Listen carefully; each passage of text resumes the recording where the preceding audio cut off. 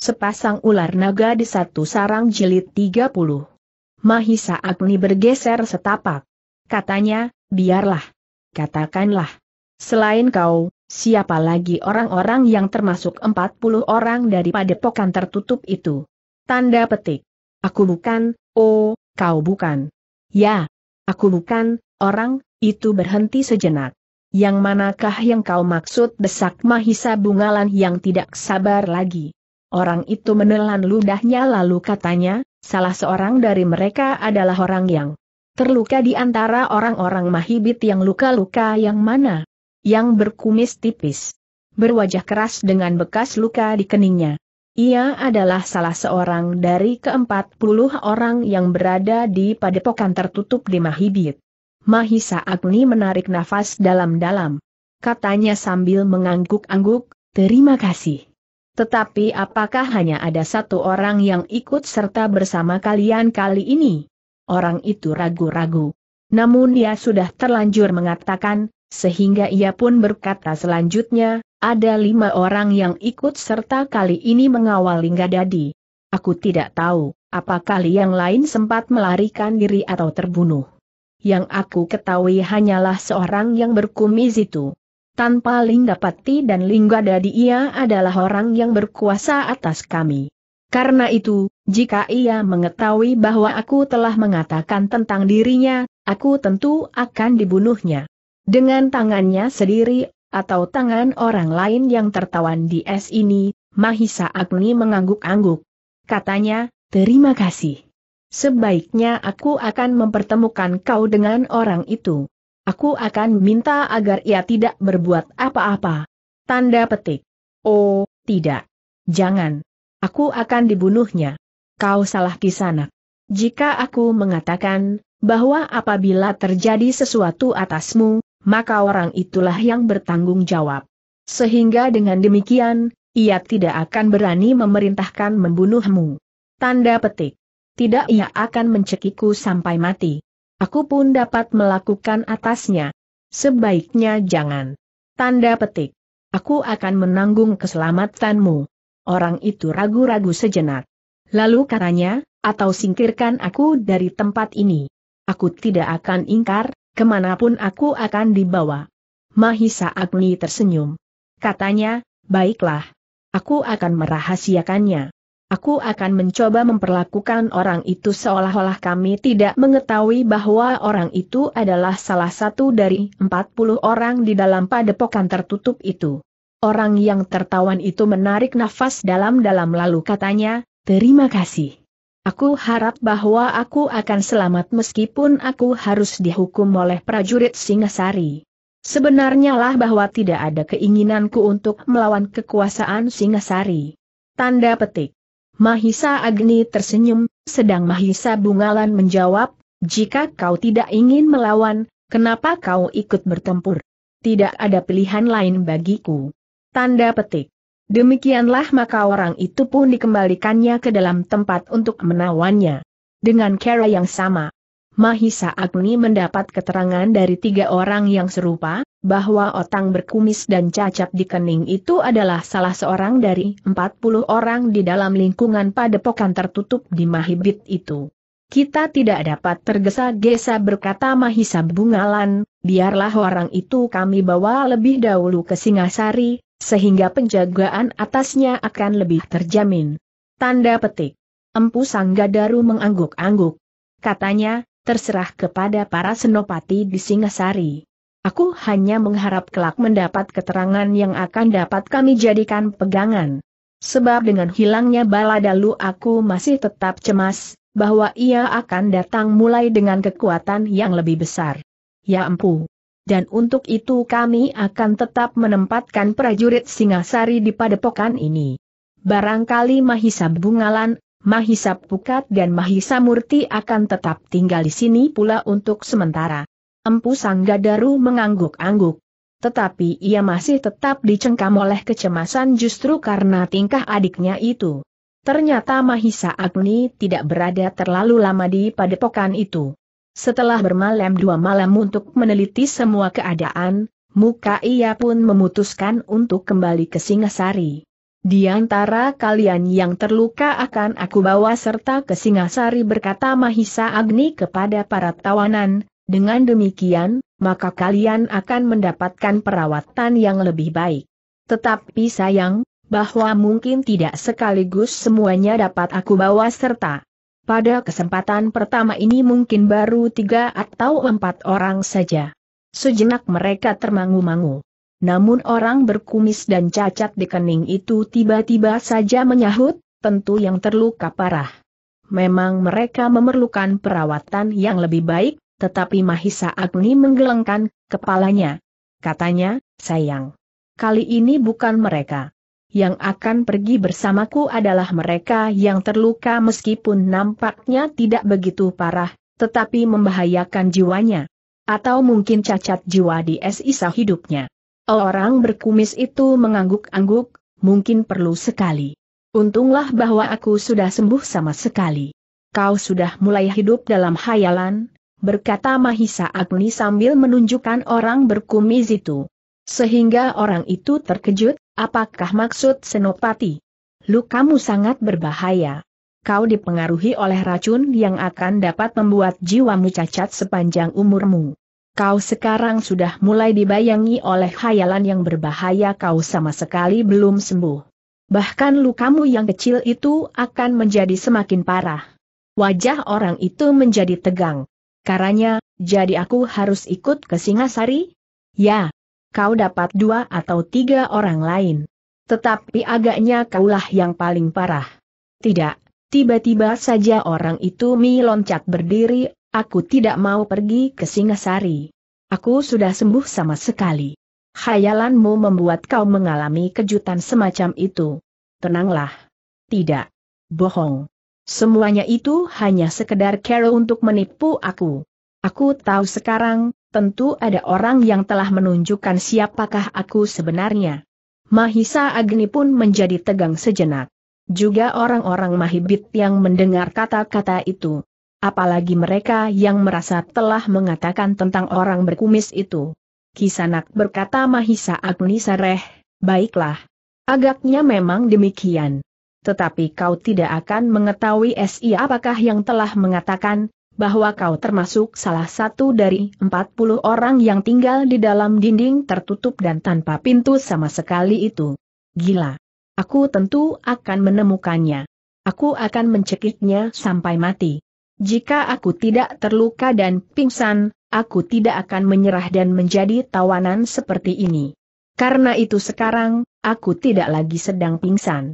Meskipun aku masih terluka, namun aku akan bertempur melawan siapa pun juga sampai mati, karena aku sadar, bahwa prajurit-prajurit Singasari akan mengeroyokku.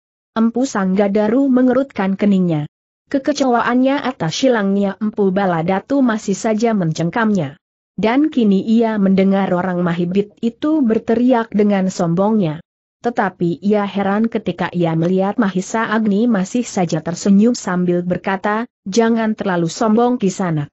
Itu tidak baik. Apakah untungnya mati dikeroyok orang banyak? Lebih baik ikut sajalah kami ke Singasari. Kami akan mengobati luka-lukamu, dan sudah tentu kami ingin mendengar beberapa keterangan tentang Mahibit itu pun sudah bukan merupakan rahasia lagi, karena sebagian dari padepokanmu yang tertutup itu sudah terbaca oleh petugas-petugas sandi sejak lama. Mungkin Linggapati menyadari, sehingga ia telah memindahkan padepokannya dari ujung kota Mahibit ke tempatnya yang sekarang. Orang itu termangu-mangu sejenak. Ia pun menjadi heran, bahwa Mahisa Agni itu masih saja bersikap acuh tidak acuh. Senapati tua ini benar-benar seorang yang memiliki kemampuan di luar kemampuan manusia berkata orang itu di dalam hatinya karena ia pernah mendengar nama Mahisa Agni. Sudahlah. Kita akan berangkat. Kau akan mendapat seekor kuda khusus. Demikian pula dua orang kawanmu pilihlah, Siapakah yang akan kau ajak untuk menemanimu? Sejenak orang itu termangu-mangu. Namun kemudian katanya, tidak. Aku akan mati di sini. Kenapa kau memilih mati? Aku tahu, Empat puluh orang yang berada di dalam lingkungan dinding tertutup itu tentu sudah bersumpah untuk tidak membocorkan rahasia padepokannya. Baiklah. Kami tidak akan memaksa. Tetapi hal-hal yang tidak bersifat rahasia, yang umum sekali, tentu boleh kau sebut. Misalnya apakah Linggapati mempunyai adik yang lain kecuali Linggadadi yang terbunuh itu? Persetan. Mahisa Agni tertawa. Katanya, kau memang keras kepala. Tetapi agaknya kau memang telah dibentuk demikian. Seperti juga Empu Baladatu yang melarikan diri setelah membunuh penjaganya. Hi apakah kau juga merencanakannya? Cukup. Cukup pertanyaanmu membuat aku muak. Jangan membentak kisana. Aku orang tua. Tidak baik dilihat orang. Kau masih terlalu muda untuk membentak aku. Senapati tiba-tiba saja Empu Sanggadaru memotong, aku akan menyelesaikannya. Kepergian Empu Baladatu aku hampir gila. Mungkin orang ini akan dapat mengurangi ketegangan otakku. Mahisa Agni tersenyum. Ia dapat mengerti, betapa hati Empu Sanggadaru bagaikan diguncang oleh kekecewaan, marah dan penyesalan yang bercampur haru. Namun demikian Mahisa Agni mendekatinya sambil berkata, Empu sudah menunjukkan sikap dan budi yang luhur. Karena itu, biarlah empu tetap pada sikap itu. Serahkan orang ini kepadaku. Empu Sanggadaru menarik nafas dalam-dalam. Kepalanya pun tertunduk meskipun terasa hatinya bergejolak. Yang hampir tidak dapat dicegah lagi adalah Mahisa Murti. Dengan serta-merta ia meloncat sambil berkata, Paman, biarlah aku membuktikan. Apakah yang 40 orang di dalam padepokan tertutup itu benar-benar bukan manusia wantah? Sekali lagi Mahisa Agni tersenyum katanya, siapakah yang mengatakan bahwa mereka bukannya manusia wantah? Mahisa Murti menjadi bingung sejenak. Namun kemudian katanya, lihatlah, bagaimana angkuh sikapnya. Seolah-olah ia membenarkan bahwa 40 orang di padepokan tanpa pintu itu memiliki ilmu yang tidak terjangkau oleh manusia di luar dinding padepokannya. Keangkuhan dan kesombongannya itulah yang justru menunjukkan bahwa ia adalah manusia sewajarnya. Dan kau tidak usah ikut menjadi sombong dan angkuh. Mahisa Murti termangu-mangu sejenak. Namun Naa pun kemudian melangkah surut. Namun dalam pada itu, orang berkumis itu menjadi semakin marah, seolah-olah ia hanya sekedar menjadi bahan tertawaan bagi Mahisa Agni. Meskipun ia sudah pernah mendengar kebesaran namanya, tetapi kemarahannya telah membuatnya gelap hati. Apalagi ia merasa bahwa ia pun memiliki ilmu yang cukup. Tentu hanya karena kebetulan atau kelengahan, Mungkin karena ada dua atau tiga orang yang menyerangnya bersama-sama sehingga ia terluka dan pingsan sehingga ia tertawan. Karena itulah, maka ia pun tiba-tiba telah meloncat menerkam Senopati yang sudah menjadi semakin tua dan seolah-olah sama sekali tidak bersiaga itu. Mahisa Agni melihat serangan itu tetapi ia sama sekali tidak melakukan apa pun juga karena ia pun melihat dalam waktu yang bersamaan Mahisa Bungalan lelah meloncat pula. Dua kekuatan telah berbenturan. Tetapi kedua kekuatan itu ternyata tidak berimbang. Mahisa Bungalan telah berhasil membunuh Linggadadi. Orang kedua Demahibit. Apalagi salah seorang pengawalnya yang sudah terluka. Untunglah Mahisa Bungalan pun tidak melontarkan segenap kekuatannya. Ia menyadari, bahwa dengan segenap kekuatannya maka orang itu tentu akan terbunuh. Dan itu berarti suatu kerugian bagi Singasari dalam keadaan yang gawat ini. Orang berkumis yang membentur kekuatan Mahisa Bungalan itu pun telah terlempar beberapa langkah. Dengan kerasnya ia terbanting di tanah. Orang itu masih berusaha untuk menggeliat dan bangkit. Tetapi ternyata bahwa kekuatannya bagaikan larut sama sekali. Selain oleh benturan yang keras melampaui ketahanan tubuhnya, juga karena luka-lukanya sendiri yang belum sembuh. Terdengar orang itu mengerang. Tetapi ia tidak pingsan. Mahisa Agni mendekatinya. Dengan hati-hati ia berjongkok di sampingnya. Pergi, pergi. Aku bunuh kau geram orang itu. Kau benar-benar seorang laki-laki desis Mahisa Agni, kau keras hati dan pantang menyerah. Lebih baik aku mati daripada menyerah. Aku percaya bahwa kau bukan sekedar menyombongkan diri, jawab Mahisa Agni, tetapi sayang sekali. Orang itu termangu-mangu. Seolah-olah ia ingin bertanya, apakah yang disayangkan oleh Mahisa Agni? Kisanak. Jika sifat jantanmu itu berada di jalan kebenaran, maka aku kira kita akan hidup sejahtera dan tenang. Setiap orang akan mendapatkan perlindungan apabila jumlah orang-orang jantan yang berada di jalan kebenaran semakin besar jumlahnya. Diam jangan gurui aku. Aku tidak perlu sesorahmu. Mahisa Agni menggeleng, tidak kisanak. Aku tidak sesorah.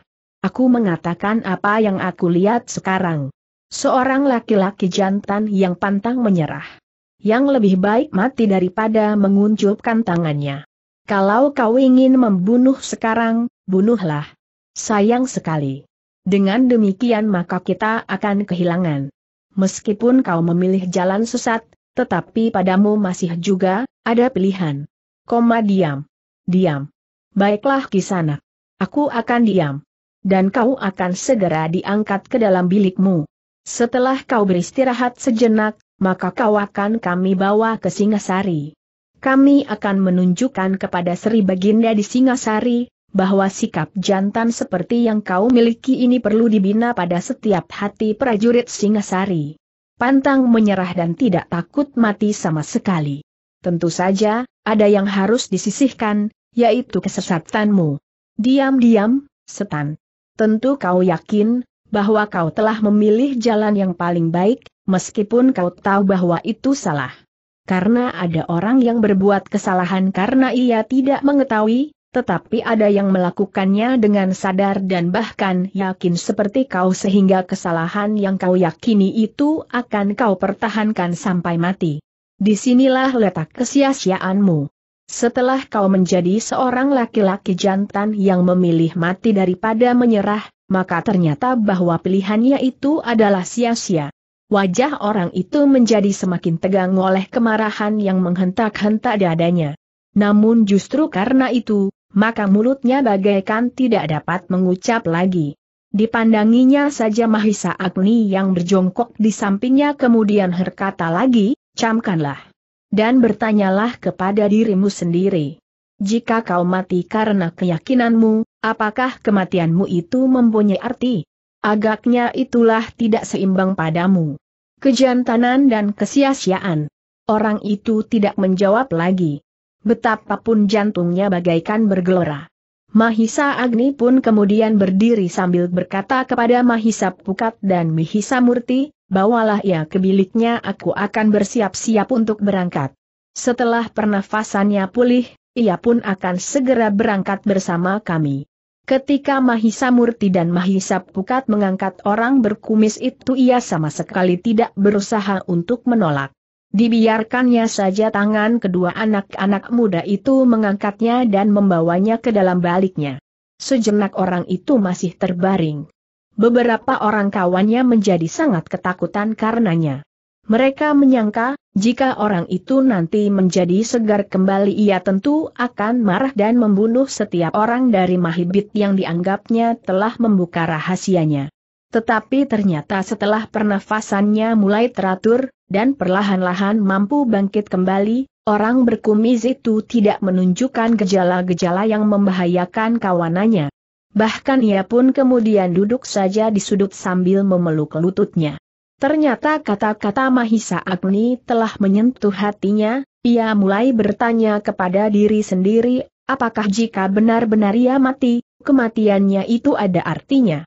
Tentu ia menggeretakkan giginya, aku telah memperjuangkan suatu cita-cita yang luhur bagi Mahibit. Tetapi kemudian timbul lagi sebuah pertanyaan apakah artinya pemberontakan yang disiapkan oleh Linggapati dan Linggadadi? Dengan kekuatan dari padepokan macan kumbang dan serigala putih, orang-orang Mahibit tidak berhasil mengalahkan sebuah padepokan. Sebuah padepokan saja meskipun di padepokan ini. Ternyata ada beberapa orang prajurit Singasari. Hanya beberapa. Sehingga apakah artinya kekuatan Mahibit yang sebenarnya dibanding kekuatan Singasari? Jika Linggapati menilai perjuangan Sri Rajasa yang perkasa itu dari sebuah lingkungan kecil, di mana pada saat itu Kainarok memegang jabatan sebagai seorang akuah di Tumapel namun tentu ada persoalan-persoalan lain yang menyangkut hubungan antara Kediri dan Tumapel, terutama dari segi pengaruh para Brahmana. Orang berkumis itu mengerutkan keningnya. Masih terngiang kata-kata Mahisa Agni, tidak ada keseimbangan antara kejantanannya dan kesia-siaannya. Orang berkumis itu tidak sempat mempertimbangkannya terlalu panjang, karena ia pun kemudian melihat Mahisa Agni sendiri datang menjemputnya sambil berkata, marilah. Orang itu tetap berdiam diri. Orang itu tidak menjawab. Seolah-olah di luar sadarnya, ia pun bangkit perlahan-lahan, karena dadanya masih terasa agak sesak kemarilah desis Mahisa Agni. Orang itu pun datang kepadanya dan mengikutinya. Kali ini kau pergi sendiri berkata Mahisa Agni, kau mendapat kehormatan khusus dari prajurit-prajurit Singasari. Kudamu sudah siap tentu kau pun sudah siap. Sejenak kemudian, maka iring-iringan prajurit Singasari itu pun meninggalkan padepokan Empu Sanggadaru, dengan kesan yang sungguh-sungguh tentang kemungkinan yang buruk yang akan dapat ditimbulkan oleh Linggapati maupun oleh Empu Baladatu yang berhasil melarikan diri. Sementara itu, para tawanan dari Mahibit justru menjadi tenang ketika orang berkumis itu sudah tidak ada lagi di antara mereka. Mereka sadar sepenuhnya bahwa orang berkumis itu akan dapat menjadi bencana yang mengerikan, jika ia masih tetap berada di antara kawan-kawannya yang tertawan dan terluka. Justru sepeninggal orang berkumis itu, orang-orang mahibit yang tidak lagi dicengkam oleh ketakutan, mulai dengan leluasa menceritakan apa saja yang mereka ketahui tentang mahibit. Namun yang mereka ketahui pun hanya terbatas sekali. Hanya terbatas keadaan di luar dinding tertutup yang jarang sekali mereka lihat bagian dalamnya. Dalam pada itu, Empu Baladatu yang masih dalam keadaan terluka, dan setelah berhasil membunuh pengawasnya, meninggalkan padepokan kakaknya berjalan dengan susah payah menjauhi padepokan yang baginya merupakan neraka itu ia telah gagal menciptakan suatu upacara korban terbesar bagi aliran ilmunya untuk mencengkam murid-muridnya agar menjadi semakin patuh kepadanya. Sehingga dengan demikian ia tidak dapat menepuk dada sambil menyebut dirinya sebagai maha guru yang paling berwibawa dari aliran di sepanjang masa. Korban Purnama naik pada bulan itu, justru terjadi sebaliknya. Pasukannya telah dihancurkan hampir mutlak, ia sendiri tertawan dan tidak berdaya sama sekali. Hanya karena Empu Sanggadaru adalah kakak kandungnya, maka ia dapat mempergunakan kelengahannya untuk melarikan diri dengan mengorbankan pengawal yang sedang mengawasinya. Namun dalam pada itu, dendam telah menyala di dalam hatinya. Dan Empu Baladatu telah bersumpah kepada diri sendiri, untuk membalas dendam itu sampai tuntas. Aku masih mempunyai kesempatan berkata Empu Haladatu dengan kemarahan yang menghentak dadanya. Namun daya tahan tubuh Empu Baladatu memang luar biasa sekali. Meskipun ia masih belum sembuh dari lukanya yang parah, ia masih mampu berjalan hampir sehari semalam. Hanya sekali-kali ia berhenti di balik gerumbul-gerumbul liar. Minum seteguk air dari sumber-sumber air di pinggir sungai, dan mencuri buah jagung muda di sawah atau akar ketela rambat. Di siang hari, Empu Baladatu berjalan sambil bersembunyi di balik hutan-hutan kecil atau lapangan perdu yang rimbun. Sedangkan di malam hari ia berjalan langsung menuju kepada pokannya yang jauh. Tetapi, Empu Baladatu tidak mau berjalan terus. Setelah berjalan sehari semalam, ia merasa sudah tidak dapat diikuti lagi jejaknya oleh orang-orang padepokan kakak kandungnya. Karena itu, maka ia sempat beristirahat dan tidur hampir semalam suntuk di sebuah batu besar di pinggir sungai yang jarang didatangi oleh manusia. Meskipun ia masih dalam keadaan terluka, namun Empu Baladatu sama sekali tidak takut, seandainya ada seekor binatang buas yang mendatanginya di malam hati. Ia yakin bahwa telinganya masih mampu mendengar desir langkah kaki binatang itu di atas batu-batu kerikil sebelum mencapai batu besar di pinggir sungai itu. Biasanya binatang buas mencari air di bagian yang langsung dapat diteguknya berkata Empu Baladatu kepada diri sendiri sehingga ia pun kemudian dengan tenang dapat beristirahat. Ketika Fajar menyingsing Empu Baladatu baru terbangun tidak ada yang mengusiknya sama sekali. Meskipun perutnya terasa agak lain, karena yang dimakannya adalah akar-akaran dan buah-buahan yang mentah, namun ia sama sekali tidak menghiraukannya. Setelah membersihkan wajahnya dengan air sungai dan bahkan kemudian dengan membuat sumber kecil di tepian, ia pun minum seteguk maka ia mulai membenahi diri. Ketika matahari mulai naik, Empu Baladatu melanjutkan perjalanannya menyusuri sungai yang begitu besar. Sebagai seorang perantau, ia mengerti ke mana ia harus melangkah. Meskipun ia belum pernah melalui tempat yang asing itu, tetapi ia tidak pernah kehilangan arah puncak gunung dan bintang di malam hari. Selalu menjadi petunjuk, di mana ia sedang berada, dan ke arah mana ia sedang melangkah. Tetapi berjalan kaki adalah pekerjaan yang menjemukan. Ia lebih senang pergi berkuda. Kuda siapa pun juga. Maka mulailah rencananya untuk mendapatkan seekor kuda bagi Empu Baladatu, maka mendapatkan seekor kuda tentu akan dapat dilakukannya dengan mudah. Meskipun demikian Empu Baladatu tidak mau merampas kuda seseorang dergan terang-terangan. Ketika ia melihat seekor kuda yang tegar di sebuah kandang, maka ia pun tertegun. Empu Baladatu tidak meneruskan perjalanannya. Ia berhenti di sebuah bulak di bawah sebatang pohon yang rindang. Seperti seorang perantau yang kelelahan, ia pun kemudian duduk bersandar dengan mata yang setengah terpejam. Sebenarnya lah Baladatu memang sedang terkantuk-kantuk. Ia sama sekali tidak cemas, bahwa seseorang akan dapat mengenalnya di tempat yang terasing itu. Seperti yang dilakukan sebelumnya, maka jika tidak ada seorang pun yang melihat, ia telah memetik buah jagung muda. Tanpa dipanggang di atas api, jagung muda itu langsung dimakannya. Burung-burung di langit makan jagung juga mentah, katanya mereka juga tetap hidup dan terbang di langit yang biru. Ketika kemudian malam turun, mulailah Empu Baladatu dengan rencananya. Ia ingin mendapatkan kuda yang tegar di kandang yang dilihatnya di Siang hari itu. Dengan hati-hati Empu Baladatu mendekati regol halaman.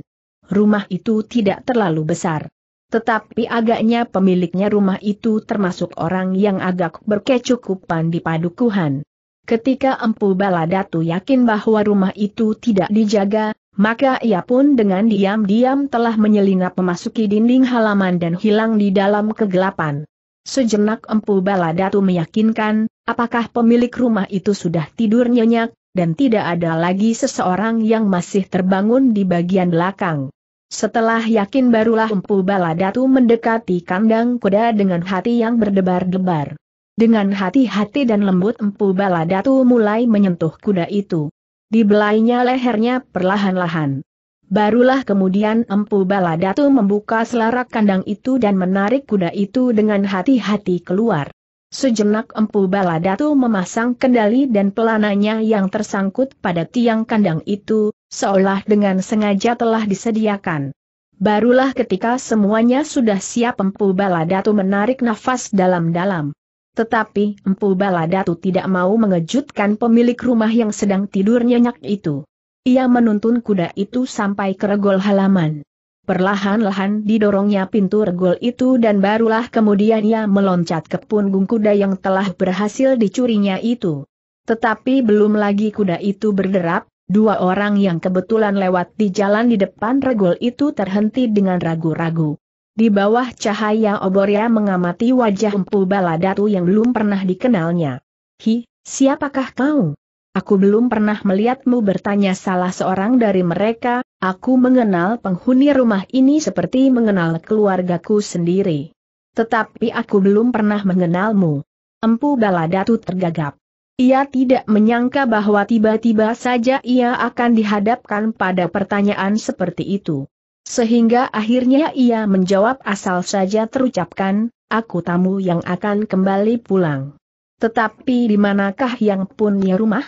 Dan aku kenal kuda ini sahut yang lain. Empu Baladatu menjadi semakin bingung. Sedangkan orang itu mendesaknya lagi, kau mencurigakan. Turunlah jika kau benar-benar tamu penghuni rumah ini aku akan mohon maaf. Tetapi, sebaiknya, aku bertanya dahulu kepada pemilik kuda yang sedang kau pakai. Empu Baladatu bukannya seorang yang sabar. Karena itu, maka tiba-tiba saja ia menggeram, minggirlah, atau kepalamu akan terinjak oleh kaki kuda ini. Kecurigaan kedua orang itu kian bertambah. Karena itu salah seorang kemudian berkata, Kisanak. Aku baru saja pergi ke sawah menelusur air yang memang agak sulit sekarang ini bagi persawahan. Kebetulan saja aku jumpai kau yang menumbuhkan kecurigaan padaku. Agaknya kau benar-benar orang bermaksud buruk. Turunlah, atau aku akan menghantam kepalamu dengan cangkul? Empu Baladatu tidak menjawab. Tiba-tiba saja kedua tumitnya telah menyentuh perut kudanya, sehingga kuda itu pun terkejut dan meloncat. Kedua orang itu memang kerusaha untuk menghalang-halangi. Tetapi mereka tidak menyadari, bahwa mereka berhadapan dengan Empu Baladatu. Karena itulah, maka keduanya pun kemudian terpelanting dan berguling beberapa kali menyeberang jalan. Sementara itu, kuda yang dipergunakan oleh Empu Baladatu itu telah berderap dan hilang di gelapan. Ternyata bahwa keributan itu terdengar oleh penghuni rumah itu sehingga ia pun kemudian terbangun dan dengan hati-hati keluar rumah lewat pintu butulan. Derap kaki kuda yang keluar dari halaman rumahnya telah menarik perhatiannya. Dengan tergesa-gesa ia menengok kandangnya. Namun kudanya sudah tidak ada di dalamnya lagi. Orang itu kemudian berlari-lari ke halaman depan. Ketika ia melihat regol halamannya terbuka, ia pun langsung keluar halaman dan turun ke jalan. Ia terkejut melihat kedua orang tetangganya yang dengan susah payah berusaha bangkit sambil menyeringai kesakitan. Kenapa pemilik kuda itu bertanya? Kedua tetangganya pun kemudian menceritakan bahwa mereka menjadi curiga ketika mereka melihat seseorang yang keluar dari regol halaman itu di atas punggung kuda di malam hari tanpa seorang pun yang mengantarkannya meskipun hanya sampai turun ke jalan. Kami tidak berdaya desis salah seorang dari keduanya. Pemilik kuda itu mengangguk-angguk. Katanya, di padukuhan ini biasanya tidak pernah terjadi kerusuhan seperti ini. Tentu bukan kebanyakan orang yang sekedar ingin mencuri. Kedua orang tetangganya itu mengangguk-angguk. Mereka masih saja menyeringai memegang pinggang masing-masing.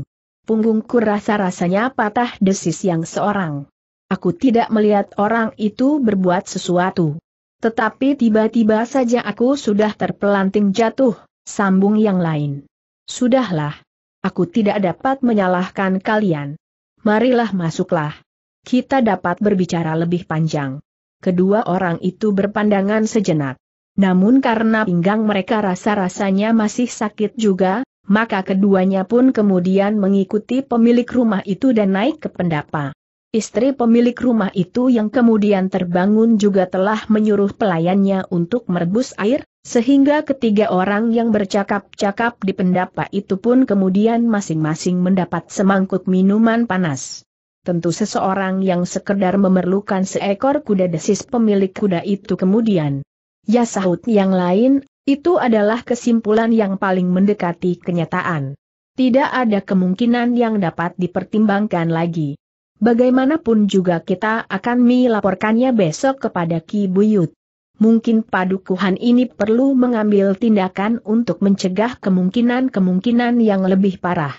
Jika ia hanya memerlukan seekor kuda untuk mempercepat perjalanan jauhnya, dan tidak menimbulkan akibat apa-apa di kemudian hari, biarlah aku ikhlaskan kudaku. Tetapi jika yang terjadi ini baru permulaan dari kejadian-kejadian yang akan berkepanjangan, maka agaknya Ki Buyut perlu mengetahuinya. Ternyata ketiga orang itu tidak berusaha membangunkan tetangga-tetangganya yang lain. Tetapi mereka berjanji di pagi harinya akan bersama-sama menghadap Kibuyut untuk memberikan kesaksian atas silangnya seekor kuda pemilik rumah itu. Ternyata peristiwa itu telah cukup menggemparkan padukuhan kecil yang biasanya selalu tenang dan damai itu. dari mulut ke mulut berita tentang hilangnya seekor kuda, dan usaha kedua orang untuk mencegahnya, telah menjalar ke seluruh padukuhan. Setiap orang mempercakapkannya dengan hati yang cemas dan berdebar-debar. Seperti yang direncanakan, maka pemilik kuda itu pun pergi menghadap Kibuyut bersama dengan kedua orang tetangganya yang menyaksikan langsung orang yang telah mengambil keduanya petani sama sekali tidak berhasil mencegahnya itu. Laporan itu diterima Kibuyut dengan wajah yang tegang dan bersungguh-sungguh. Baginya persoalan itu merupakan persoalan yang cukup gawat dan tentu akan menggetarkan padukuhan yang tenang. Para bebahu yang lain pun menjadi cemas. Bahwa seseorang telah mencuri kuda, adalah sesuatu yang benar-benar telah menyinggung perasaan setiap orang di padukuhan itu. Kenapa hanya seekor kuda bertanya Kibuyut seolah-olah ditujukan kepada diri sendiri, kenapa ia tidak mengambil yang lain? Seperti yang aku katakan Kibuyut. Agaknya orang itu memang hanya memerlukan seekor kuda saja, jawab orang yang kehilangan, ia bukan seperti kebanyakan penjahat yang ingin merampas harta benda. Ki Buyut mengangguk-angguk. Katanya, itulah yang lebih berbahaya. Jika jelas yang datang itu adalah seorang yang hanya menginginkan harta benda, persoalannya akan terbatas. Tetapi jika tidak, mungkin masih akan berkepanjangan. Tidak ada kesimpulan lain yang dapat dilakukan kecuali mengadakan kesiagaan sepenuhnya di seluruh padukuhan. Bahkan padukuhan-padukuhan tetangga pun mulai menjadi ribut ketika mereka mendengar tentang pencuri kuda yang penuh dengan rahasia itu. Dalam pada ini, selagi orang-orang di padukuhan itu menjadi ribut, Empu Baladatu telah berpacu semakin jauh. Ia tidak lagi memilih jalan. Ia tidak peduli lagi apakah ada orang yang menghiraukannya atau tidak. Tetapi agaknya memang tidak banyak orang yang memperhatikan orang lain dengan saksama. Demikian juga, orang-orang yang berpapasan dengan Empu Baladatu tidak begitu menghiraukannya, bahwa pakaiannya kusut dan robek. Luka-lukanya yang masih berdarah karena terlalu banyak untuk bergerak dan kesan wajahnya yang penuh dendam dan kebencian. Dengan seekor kuda maka Empu Baladatu telah berhasil mempercepat lari kudanya. Ia memang ingin langsung ke padepokannya dan menenangkan diri untuk beberapa lama. Terutama untuk menyembuhkan luka-lukanya. Ia tidak begitu menghiraukan padepokan serigala putih dan macan kumbang, Kedua padepokan itu tentu bagaikan lumpuh karena keduanya telah kehilangan orang-orangnya yang terbaik. Apalagi jika prajurit Singasari telah dengan sengaja datang untuk menghancurkannya. Keduanya tidak banyak berarti lagi katanya. Meskipun demikian bukan berarti bahwa Empu Baladatumi lepaskan keduanya. Ia sadar, bahwa pada suatu saat ia akan datang untuk membina reruntuhan di padepokan itu agar ia tetap mendapat panca dan di daerah di sekitar kota Raja Singasari. Tetapi untuk sementara Empu Baladatu akan berada di padepokannya sebelum rencananya yang pertama-tama adalah membuat hubungan dengan Linggapati, karena Linggapati pun tentu akan dibakar oleh dendam dan kebencian karena kematian adiknya. Sebenarnya lah, bahwa satu dua orang yang melarikan diri dari medan pertempuran, berusaha dapat kembali ke Mahibit. Meskipun dengan kesulitan dan susah payah, akhirnya mereka dapat menghadap Linggapati dan melaporkan apa yang telah terjadi atas seluruh pasukan Empu Baladatu. Betapa kemarahan yang tiada taranya menghentak dada Linggapati sehingga rasa-rasanya dada itu akan pecah, Berita tentang kekalahan mutlak bagi orang-orang Empu Baladatu dan orang-orang Mahibit yang langsung dipimpin oleh Linggadadi itu, benar-benar merupakan berita terburuk yang pernah didengarnya. Jadi Empu Baladatu juga terbunuh ia bertanya dengan wajah tegang. Aku tidak tahu pasti. Mungkin terbunuh, mungkin luka parah. Pada saat-saat aku melarikan diri dari Arna, semuanya rasa-rasanya sudah menjadi gelap dan tidak dapat diketahui dengan pasti. Linggapati menghentakkan kakinya. Kemarahan yang meluap-luap rasa-rasanya telah membakar jantungnya. Tetapi Linggapati bukan seorang yang mudah kehilangan akal. Ia mendengar laporan anak buahnya sampai tuntas kemudian mengurainya dan melihat kemungkinan-kemungkinan yang ada dan yang dapat terjadi. Betapa bodohnya Baladatu. Seolah-olah ia sudah menjerumuskan Mahibit ke dalam kesulitan. Dengan kekalahan itu maka aku sudah kehilangan sebagian besar dari kemungkinan yang selama ini telah aku pupuk dengan hati-hati. Orang-orangku pun akan menjadi berkecil hati dan mungkin bahkan kehilangan gairah perjuangannya berkata Linggapati kepada diri sendiri, selebihnya. Aku telah kehilangan adikku. Betapa bengalnya Linggadadi tetapi ia adalah orang yang memiliki kemampuan cukup untuk membantuku satu-satunya pembantuku yang paling aku percaya. Namun dalam pada itu, Linggapati pun memikirkan kemungkinan lain yang dapat terjadi atasnya. Mungkin para prajurit Singasari yang mendapat beberapa penjelasan dari orang-orangnya yang tertangkap, termasuk orang-orangnya dari lingkungan tertutup yang mengawal Linggadadi, akan datang ke Mahibit dan menghancurkan sama sekali. Itulah sebabnya. Linggapati pun bertindak cepat. Ia menarik semua orang-orangnya dari lingkungan tertutupnya dan menempatkannya di sebuah padukuhan kecil yang terasing dan yang dihuni hanya oleh beberapa keluarga yang memang sudah berada di bawah pengaruhnya dengan taat.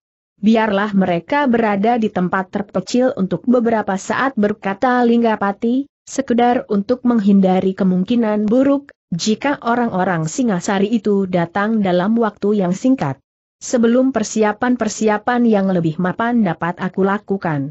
Tetapi dalam pada itu, Singasari tidak mengirimkan pasukan ke Mahibit dengan tergesa-gesa.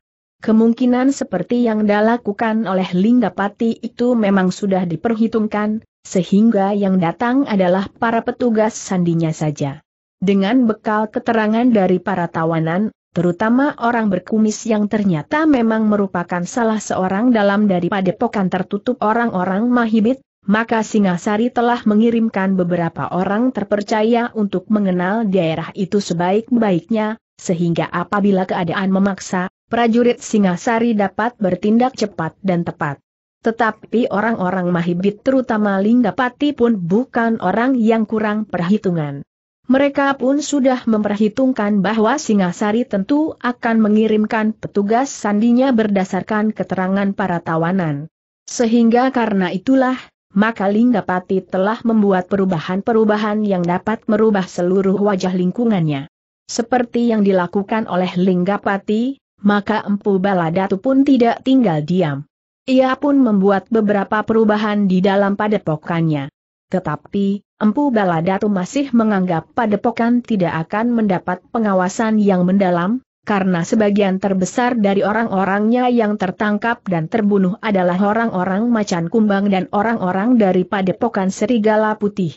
Meskipun demikian tidak mustahil bahwa orangnya yang sedikit dari padepokannya yang jauh itu ada yang tertangkap hidup. Karena itulah, maka ia pun membuat beberapa penyamaran yang akan dapat mengelabui petugas-petugas sandi dari Singasari atas padepokannya yang jauh terpencil. Empu Baladatu sendiri kemudian tidak berada di padepokannya yang lama. Ia tinggal di sebuah padukuhan kecil yang kemudian seolah-olah telah menjadi padepokannya yang baru dengan para pengawalnya yang terpilih. Di tempatnya yang baru itu Empu Baladatu mencoba untuk menghirup kekuatan dari daerah di sekitarnya. Dengan melakukan hal-hal yang kadang-kadang nampaknya tidak masuk akal, maka Empu Baladatu bagi orang-orang di sekitarnya merupakan orang yang sangat dihormati dan ditakuti. Tetapi pengaruh Empu Baladatu bukannya pengaruh yang mencengkam sampai ke sungsum. Orang-orang di sekitarnya menganggapnya sebagai seorang pemuka yang tidak dapat dibantah perintahnya. Bukan sebagai seorang pemimpin yang menuntun pengikutnya untuk memperjuangkan sebuah cita-cita yang luhur. Itulah sebabnya, maka pengaruh Empu Baladatu sukar untuk berkembang lebih jauh lagi. Namun demikian bukan berarti bahwa Empu Baladatu tidak berbuat apa-apa. Dendam dan kebenciannya benar-benar telah membakar jantungnya. Dengan segala ia mempengaruhi semua pihak yang mungkin dapat memperkuat pasukannya jika pada suatu saat diperlukannya. Sementara itu, ia masih tetap ingin membuat hubungan dengan Linggapati. Ia yakin bahwa Linggapati pun tentu dibakar oleh dendam seperti dirinya sendiri, inilah sebabnya, Ketika Empu Baladatu sudah merasa sembuh sama sekali, dan merasa telah mampu membina dirinya lebih baik lagi ia mencoba menjajagi jalan yang akan dirambahnya.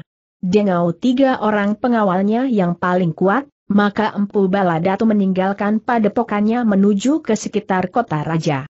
Ia ingin melihat, apakah ada peningkatan kesiapsiagaan pada prajurit Singasari. Dalam pada itu, setelah terjadi peristiwa di Padepokan Empu Sanggadaru maka Singasari memang telah bersiaga menghadapi perkembangannya. Untuk sementara prajurit Singasari yang ada di Padepokan Empu Sanggadaru memang tidak ditarik. Bahkan diperkuat dengan beberapa orang prajurit muda sambil menempa mereka. Di samping mereka, Mahisa Bungalan, Mahisa Pukat dan Mahisa Murti masih berada di padepokan itu juga. Padepokan itu memang masih memerlukan perlindungan berkata Mahisa Agni kepada para senapati. Ya sahut lembu ampal, setiap saat dendam Pubaladatu dan Linggapati dapat meledak. Namun di samping itu, Singasari pun melakukan kegiatan pengawasan atas Mahibit dan daerah yang berada di bawah pengaruh Empu Baladatu menurut arah yang ditunjukkan oleh orang-orangnya yang tertangkap. Kegiatan sandi itu tidak boleh nampak dan mengelisahkan orang-orang di sekitar Mahibit dan sekitar padepokan Empu Baladatu perintah pada Senapati di Singasari. Tetapi, jangan menganggap mereka terlalu kecil pesan Mahisa Agni, mungkin saat ini mereka memang tidak nampak. Tetapi pada suatu saat mereka merupakan kekuatan yang dapat meledak dan mengguncangkan seluruh Singasari. Karena itulah, maka para pemimpin di Singasari pun tidak kehilangan kewaspadaan.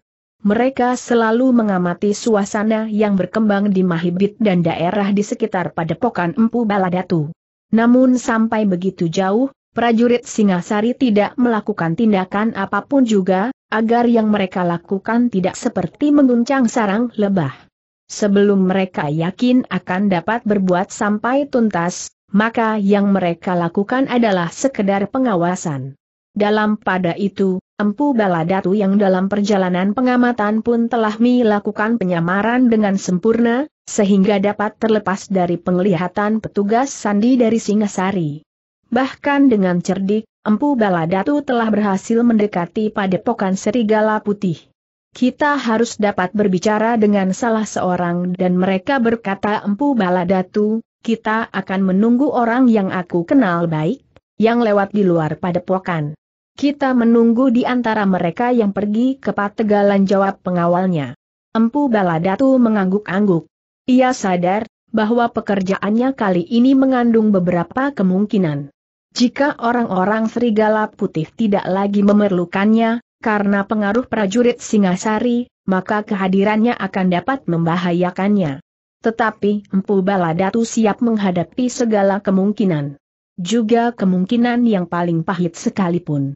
Ternyata Empu Baladatu harus menunggu dengan telaten, karena beberapa lama kemudian barulah seseorang lewat dengan membawa cangkul dari pategalan yang tidak begitu jauh dari padepokan mereka. Hanya seorang desis Empu Baladatu. Ya, apakah aku harus memanggilnya? Aku mengenal orang itu dengan baik bawalah ke sini aku ingin berbicara. Pengawal empu baladatu itu pun kemudian mendekati orang yang sedang berjalan itu. Sejenak orang itu termangu-mangu ketika langkahnya dihentikan. Apakah maksud Kisanak bertanya orang serigala putih itu? Aku perlu berbicara dengan Kisanak sebentar jawab pengawal. Empu baladatu. Tidak di sini. Tetapi di balik gerumbul itu, Orang itu menjadi ragu-ragu kemudian sambil menggeleng ia jawab, kenapa di sana? Katakan saja di sini. Aku tidak mau pergi ke sana. Jangan keras kepala di sana. Seseorang sedang menunggu kau di sana. Ia adalah orang yang penting bagimu, yang mungkin akan memberikan angin baru dan padepokanmu yang lesu itu. Orang itu masih ragu-ragu katanya kemudian suruhlah ia datang kemari. Jangan keras kepala. Orang itu tentu kau kenal dengan baik siapa? Empu Baladatu. Empu Baladatu orang itu menjadi tegang. Namun kemudian, jadi Empu Baladatu ada di sini sekarang? Ya. Di balik gerumbul itu. Orang itu termangu-mangu sejenak. Namun kemudian katanya, Apakah maksudnya sebenarnya? Ia ingin bertemu dengan salah seorang dari padepokan Serigala Putih dan kemudian orang-orang macan kumbang. Orang itu menarik nafas dalam-dalam. Sementara pengawal Empu Baladatu mencoba membawa kesan pada wajah orang itu. Agaknya itu di padepokan Serigala Putih. Baru sejenak kemudian orang itu berkata, baiklah. Aku akan menemui Empu Baladatu. Orang itu pun kemudian mengikuti pengawal Empu Baladatu ke balik sebuah gerumbul di balik gerumbul itu Empu Baladatu duduk seorang diri. Sementara dari kejauhan dan tersembunyi, pengawalnya yang lain mengawasinya sambil menunggui kuda-kuda mereka. Orang yang memang sudah mengenal Empu Baladatu itu pun kemudian duduk berhadapan. Agaknya setelah lama tidak bertemu maka orang itu pun kemudian menanyakan keselamatan dan kabar berita selama mereka berpisah. Aku baik-baik saja berkata Empu Baladatu, kau tentu sudah mendengar bahwa aku melarikan diri dari padepokan terkutuk itu. Aku membunuh orang yang menjagaku, kemudian meloncati dinding. Mereka terlalu menganggap aku tidak berdaya lagi dengan luka-lukaku saat itu. Ya empu semuanya sudah mendengar serba sedikit tentang empu. Orang-orang yang melarikan diri hanya mengatakan bahwa empu mungkin tertangkap, mungkin terbunuh. Aku sendiri yang sempat lari saat itu tidak dapat mengatakan dengan pasti, apakah yang sudah terjadi. Tetapi kemudian kami mendengar berita bahwa empu sempat lolos. Tetapi aku tidak langsung kembali ke padepokan ini. Aku tahu bahwa prajurit Singasari akan mencari aku kemari. Ya jawab orang itu, beberapa orang prajurit Singasari dan para cantrik dari Padepokan Empu Sanggadaru telah datang kemari. Apakah mereka mencari aku atau untuk keperluan yang lain kedua-duanya? Mereka memerintahkan agar kami tidak melakukan tindakan yang dapat mencelakan kami, maksudnya? tentu agar kami tidak melakukan kegiatan lagi yang dapat menimbulkan kesan perlawanan atau bahkan persiapan untuk menyerang padepokan Empu Sanggadaru. Dan apakah yang kalian lakukan selama ini? Tidak apa-apa. Kami melakukan pekerjaan kami sehari-hari untuk dapat tetap hidup. Kami mengolah tanah yang ada dan memetik hasilnya bagi beberapa bagian yang sudah berbuah dan pantas dipetik. Mencukupi? Orang itu menarik nafas dalam. Pada masa lampau semua kekurangan akan dengan mudah dapat dicukupi. Beberapa orang berkuda yang mendatangi beberapa padukuhan telah cukup untuk menambah semua kekurangan. Tetapi mereka tidak dapat melakukan uya lagi. Mereka tidak berani melanggar ancaman prajurit Singasari yang tentu akan mengambil tindakan yang keras kalian akan makan akar-akaran dan dedaunan berkata Empu Baladatu kemudian. Orang itu tidak segera menyaut. Tetapi ia tidak dapat ingkar bahwa mereka pada suatu saat akan merasa kekurangan makan. Tanah yang tidak begitu luas dan kurang subur hanyalah sekedar memberikan bahan makan yang sebenarnya memang kurang mencukupi. Hi kenapa kau diam saja? Apakah kalian memang sudah mempersiapkan diri untuk makan akar-akaran dan dedaunan desak empu baladatu? Orang itu menarik nafas dalam-dalam. Katanya, tidak ada jalan lain empu. Kami selalu dalam pengawasan. Jika kami melakukan sesuatu yang bertentangan dengan batasan-batasan yang diberikan oleh prajurit Singasari, maka kami akan mengalami tindakan yang dapat merugikan kami sendiri. Empu Baladatu mengangguk-angguk. Katanya, aku mengerti kalian tidak mempunyai kekuatan lagi untuk menyatakan diri sebagai suatu kelompok yang bebas dan dapat menentukan sikap dan tindakan sendiri. Orang itu tidak menjawab. Tetapi tatapan matanya kepada Empu Baladatu justru merupakan tuntutan, bahwa seakan-akan Empu Baladatu lah yang harus bertanggung jawab atas kehancuran padepokan itu meskipun tidak dalam pengertian wadak. Karena justru kehancuran itu dialami di padepokan lain. Empu Baladatu yang seakan-akan mengerti apa yang tersirat dalam tatapan matu itu kemudian berkata, aku mengerti, bahwa kalian selalu dikejar oleh harapan untuk dapat bangkit kembali. Mungkin kalian menganggap bahwa aku telah ingkar akan tugas dan tanggung jawabku. Tetapi kelambatan itu terjadi karena aku sedang menyembuhkan luka-lukaku. Aku tidak dapat berbuat banyak dalam keadaan terluka parah. Aku meninggalkan padepokan Kakang Empu Sanggadaru dengan keadaan yang gawat, sehingga aku memerlukan waktu penyembuhan yang cukup panjang. Dan kini aku sudah sembuh. Aku ingin melihat-lihat dan kemudian memperhitungkan setiap kemungkinan yang dapat kita tempuh bersama. Orang itu tidak menjawab. Tetapi ia merasa berdiri di simpang jalan. Rasa-rasanya ia sudah jemu untuk melibatkan diri ke dalam dunia yang kelam meskipun dengan harapan-harapan. Selama ini yang dijumpainya hanyalah kegagalan-kegagalan dan bahkan hampir kemusnahan. Namun demikian, tanpa berbuat apa-apa, maka pada pokannya pun tentu akan menjadi semakin kering kekurangan makan yang barangkali akan semakin parah sehingga dapat menimbulkan bahaya kelaparan bagi penghuni padepokan itu. Jangan gelisah berkata Empu Baladatu kemudian, jika kalian masih mempunyai kepercayaan kepadaku, maka aku berjanji bahwa pada suatu saat akan datang saatnya, kalian menemukan hari-hari yang gemilang. Aku tidak berhenti sampai di sini meskipun aku juga tidak dapat berbuat dengan tergesa-gesa. Orang itu tidak menyaut. Ia memang memerlukan perubahan. Tetapi ia tidak ingin terlibat dalam kehancuran sekali lagi. Pertempuran itu adalah pertempuran yang sangat mengerikan. Orang-orang Mahibit telah kehilangan pemimpin mereka. Sedang orang-orang dari Padepokan Serigala Putih dan Macan Kumbang, rasa-rasanya telah menjadi berputus asa dan tidak berpengharapan lagi. Untunglah bahwa kawan-kawan kami yang tertangkap tidak diperlakukan dengan buruk berkata orang itu di dalam hatinya, bahkan beberapa di antara mereka telah dilepaskan. Orang-orang yang melarikan diri dari pertempuran itu pun tidak diambil tindakan yang keras dan menyeluruh. Namun orang itu tidak mengucapkannya di hadapan Empu Baladatu agar tidak menimbulkan kesan yang lain. Bagaimanapun juga orang itu masih merasa segan terhadap Empu Baladatu yang memang memiliki ilmu yang tinggi. Ia tidak boleh dikecewakan berkata orang itu, agar ia tidak mengambil tindakan sendiri dan langsung terhadap orang-orang di padepokan. Karena itulah, maka orang itu pun selalu memberikan gambaran yang dapat menumbuhkan harapan bagi Empu Baladatu. Namun yang dikatakan oleh Pempu Baladatu itu pun kadang-kadang dapat menyentuh hati orang serigala putih itu dan menumbuhkan harapan pula baginya. Empu berkata orang itu kemudian, apakah Empu akan singgah ke padepokan? Tidak. Aku tidak akan singgah di padepokan.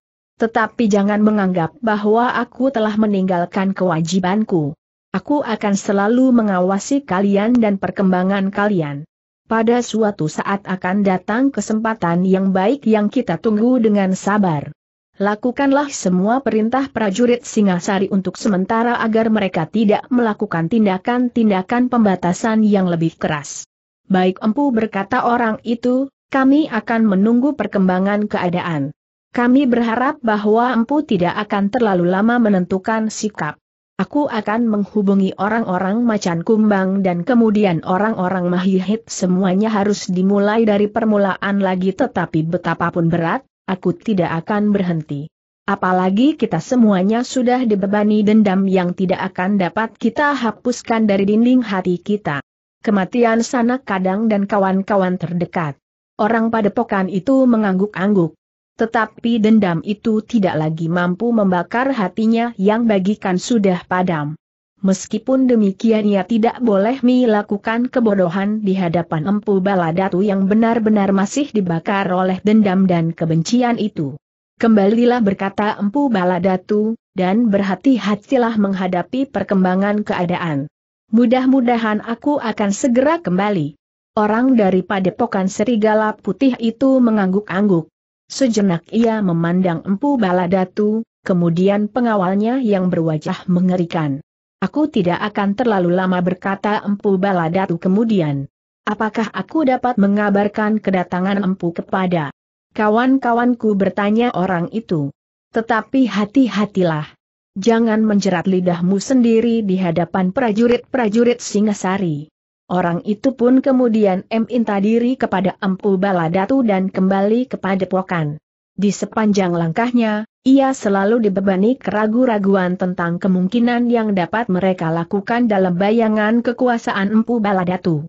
Setelah pertempuran yang mengerikan itu, orang-orang dari Padepokan Serigala Putih ternyata telah mendapat pengalaman baru. Bukan saja pengalaman jasmani, tetapi juga jiwani. Ternyata mereka tidak dihadapkan pada dendam yang membakar para prajurit Singasari dan para cantrik di Padepokan Empu Sanggadaru mereka tidak mengalami pembalasan dendam tanpa ampun. Meskipun ada juga prajurit Singasari yang menjadi korban, juga para cantrik dari Padepokan Empu Sanggadaru, namun mereka membiarkan orang-orang dari Padepokan Serigala Putih yang tersisa masih tetap hidup. Bahkan mereka telah melepaskan beberapa orang tawanan dan tidak menangkapi mereka yang berhasil melarikan diri dari medan pertempuran, kecuali satu dua orang yang mempunyai peranan terpenting dalam padepokannya. Pilihan yang sangat sulit berkata orang itu. Rasa-rasanya sudah terlampau berat untuk mulai lagi memilih jalan kehidupan seperti yang pernah mereka tempuh bersama Empu Baladatu. Dalam keadaan yang paling sulit, ternyata Empu Baladatu tidak mampu melindungi mereka, dan bahkan ia sendiri hampir binasa. Untunglah bahwa ia jatuh ke tangan saudara laki-lakinya meskipun saudaranya itulah yang telah dikhianatinya sehingga ia masih berkesempatan untuk hidup, dan bahkan membunuh orang yang mendapat tugas untuk mengawasinya, sehingga Empu Baladatu sempat melarikan diri. Tetapi untuk menolak tawaran Empu Baladatu pun akibatnya akan dapat menyulitkan isi padepokannya. Jangankan padepokan serigala putih Sedangkan padepokan kakaknya sendiri, jika tidak sejalan dengan langkahnya, Empu Baladatu tidak segan-segan untuk memusnahkannya. Aku harus membicarakan masak-masak dengan orang-orang terpenting di padepokanku. Kehadirannya, benar-benar merupakan mimpi yang buruk bagi padepokan serigala putih yang mencoba untuk menenangkan dirinya. Orang itu pun kemudian mempercepat langkahnya. Seolah-olah ia tidak sabar lagi untuk menyampaikan berita kehadiran Empu Baladatu itu kepada kawan-kawannya. Sementara itu Empu Baladatu masih berada di balik gerumbul bersama seorang pengawalannya. Sejenak mereka mengawasi orang padepokan serigala putih itu. Namun sulitlah bagi Empu Baladatu untuk mendapatkan kesan daripadanya. Apakah orang itu akan bersedia menyampaikannya kepada kawan-kawannya bertanya Empu Baladatu kepada pengawalnya. Ia tidak akan dapat mengelak. Tetapi entahlah, apakah keputusan yang akan diambil oleh orang-orang padepokan serigala putih. Mereka bukan lagi serigala yang buas. Tetapi agaknya mereka tidak lebih dari anjing peliharaan yang sudah tidak bergigi lagi, sahut pengawalnya. Empu Baladatu mengangguk-angguk. Katanya, tetapi aku masih mengharap bahwa mereka akan dapat dibangunkan lagi. Tetapi dapat juga membahayakan perjalanan Empu Baladati. Mereka dapat berkhianat dan melaporkan kepada prajurit Singasari bahwa Empu ada di sini.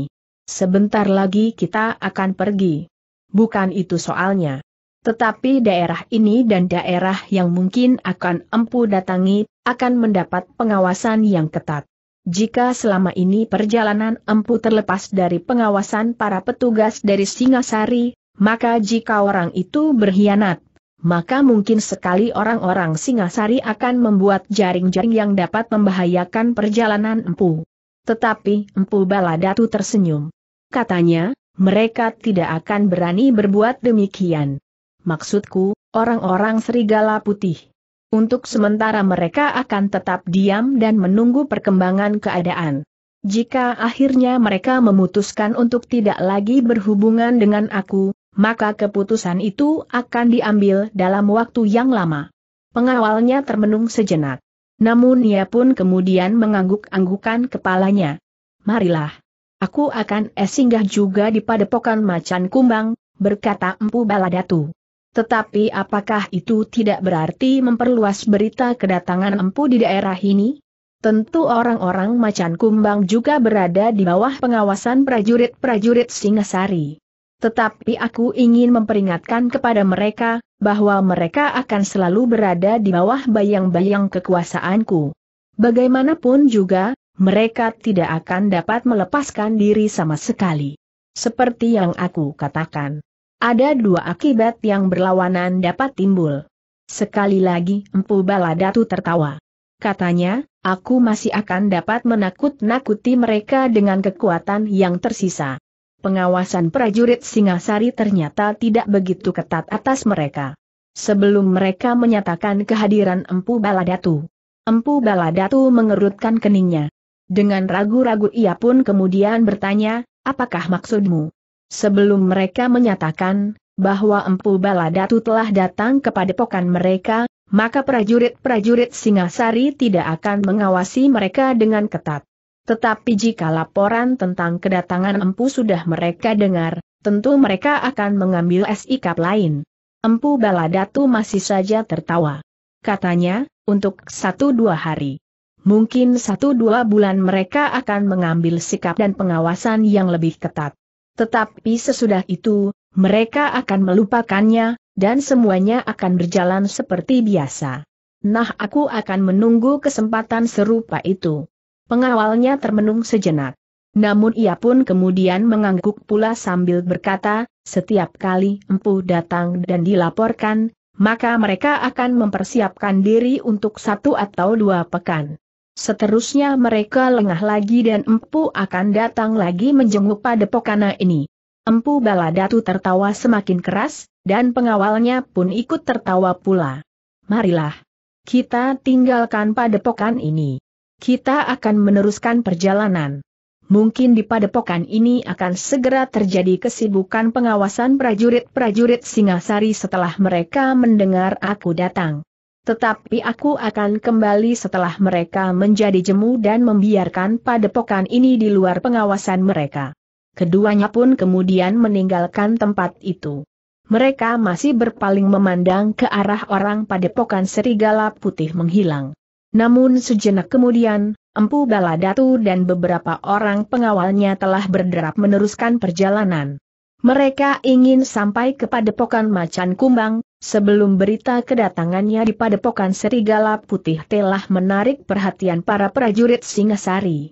Dalam pada itu, orang padepokan serigala putih yang telah bertemu dengan Empu Baladatu itu pun menjadi bingung. Ia tidak tahu apakah yang sebaiknya dilakukan. Karena itulah maka ia telah mengambil keputusan untuk menyampaikan berita kehadiran Empu Baladatu itu kepada orang-orang yang dianggap paling berpengaruh di padepokannya sepeninggal para pemimpin mereka, termasuk orang-orang yang ditempatkan oleh Empu Baladatu di padepokan itu. Beberapa orang pun kemudian telah berkumpul sesaat setelah orang yang bertemu dengan Empu Baladatu itu berada kembali di padepokannya. Dengan cermat ia menceritakan apa yang telah dialaminya. Pertemuan dengan orang yang sama sekali tidak diharapkan lagi datang ke padepokannya. Jadi Empu Baladatu masih berniat untuk meneruskan perjuangannya bertanya salah seorang dari orang-orang di padepokan serigala putih itu. Ya jawab kawannya yang bertemu langsung dengan Empu Baladatu, nampaknya ia sudah siap untuk berjuang dalam waktu yang tidak terbatas.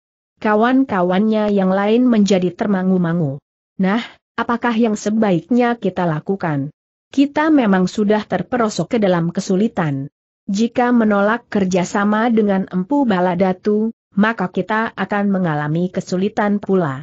Empu Baladatu dapat berbuat apa saja yang dikehendaki tanpa belas kasihan. Jangankan kita, yang baginya adalah orang lain atau bahkan orang-orang yang tidak berarti kecuali dijadikan umpan dalam peperangan seperti yang pernah terjadi, sedangkan saudara kandungnya pun akan mengalami nasib yang sangat buruk jika Empu Baladatu tidak salah hitung atas kekuatan padepokan itu. Kita memang tidak dapat tergesa-gesa mengambil keputusan kita mempunyai waktu untuk berpikir berkata salah seorang dari mereka. Kemudian katanya selanjutnya, bukankah Empu Baladatu masih akan pergi kepada Pokan Macan Kumbang dan barangkali juga ke Mahibit? Ya. Orang yang tertua di antara mereka menarik nafas dalam-dalam. Katanya, benar-benar suatu jalan simpang yang sulit. Kita yang sudah terlanjur terperosok ke dalam kejahatan ini, agaknya sudah sulit untuk hangkit kembali. Tetapi kita harus mencoba meskipun dengan kemungkinan yang buruk sekalipun. Kita sudah jemu hidup dalam ketidakpastian seperti yang pernah kita alami di saat-saat yang lampau. Justru setelah kita mulai mencari jalan ketenangan, Empu Baladatu telah datang lagi dengan rencananya yang gila. Kita harus mulai lagi dengan korban darah.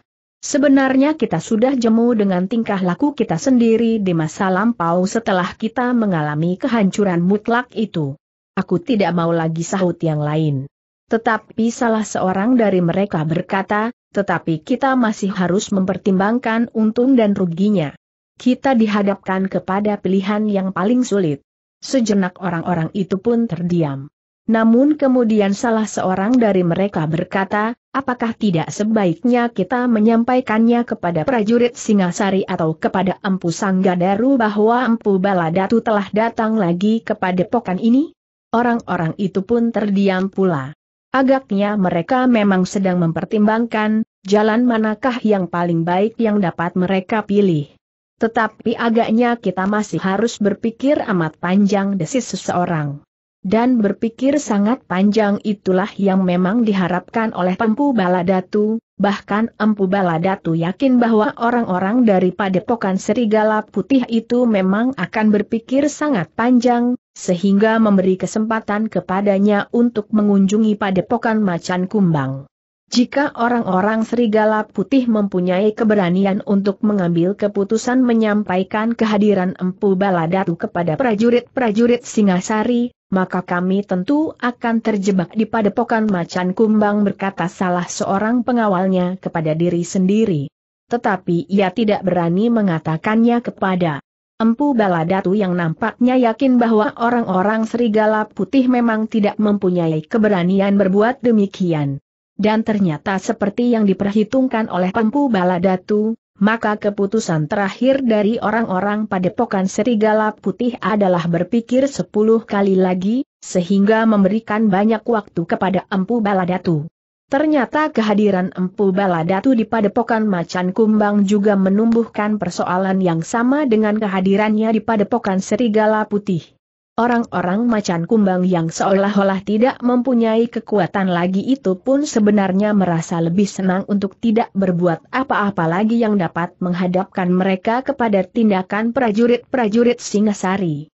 Tetapi seperti juga orang-orang serigala putih, maka mereka pun dibayangi oleh kecemasan, bahwa Empu Baladatu akan melakukan kekerasan pula terhadap mereka pada saat-saat mereka tidak terlindung oleh kekuatan prajurit Singasari.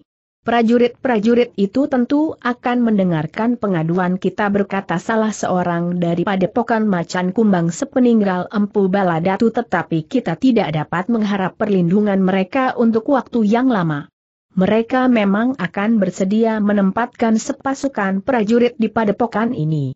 Tetapi betapa hari. Sementara mereka meninggalkan kita, maka Empu Baladatu mulai bertindak dengan kekerasan yang kasar dan buas. Kawan-kawannya mengangguk-angguk. Mereka pun menjadi bingung seperti orang-orang di padepokan serigala putih, sehingga dengan demikian maka mereka pun memerlukan waktu yang panjang untuk memikirkannya. Kita akan sampai ke Mahihit dengan aman berkata Empu Baladatu di perjalanan, orang-orang padepokan serigala putih dan macan kumbang tidak akan dapat mengambil sikap dengan segera. Pengawalnya hanya mengangguk-angguk saja. Tetapi mereka selalu berharap agar demikian yang sebenarnya terjadi. Dalam pada itu, Empu Baladatu telah berada dalam perjalanan menuju ke Mahibit. Ia sudah mempertimbangkan cara yang paling baik untuk menemukan tempat Linggapati meskipun masih belum meyakinkan.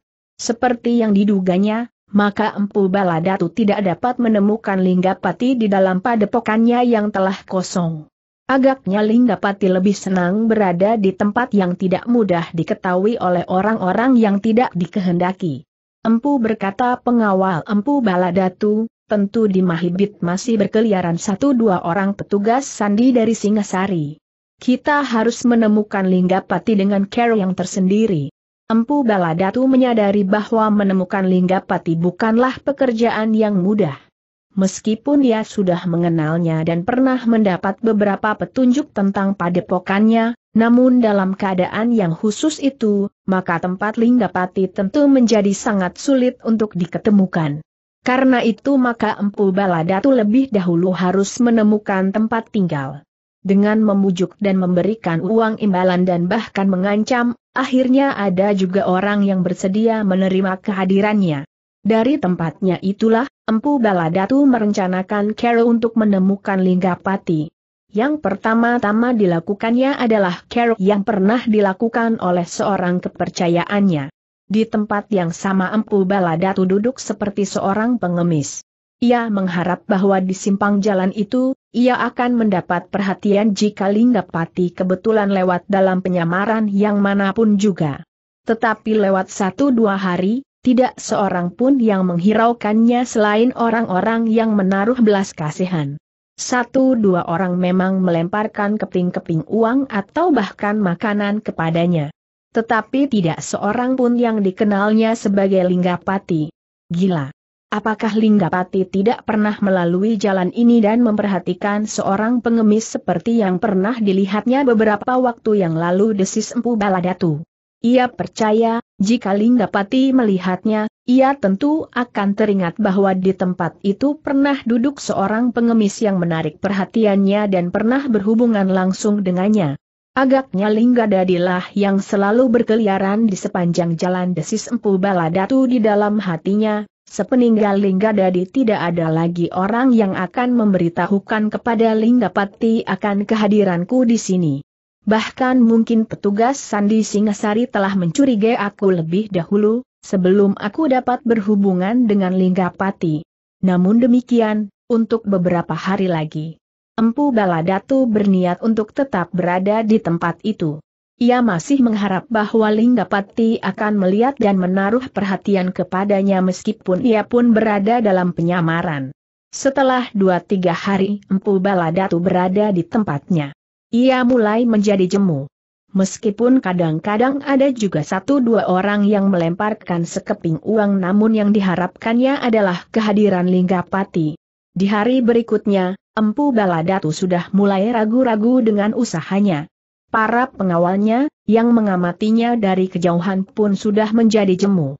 Meskipun mereka sempal bergantian dan berjalan-jalan menyusuri jalan yang agak panjang, tetapi mereka ternyata hampir tidak tahan lagi melakukan tugasnya.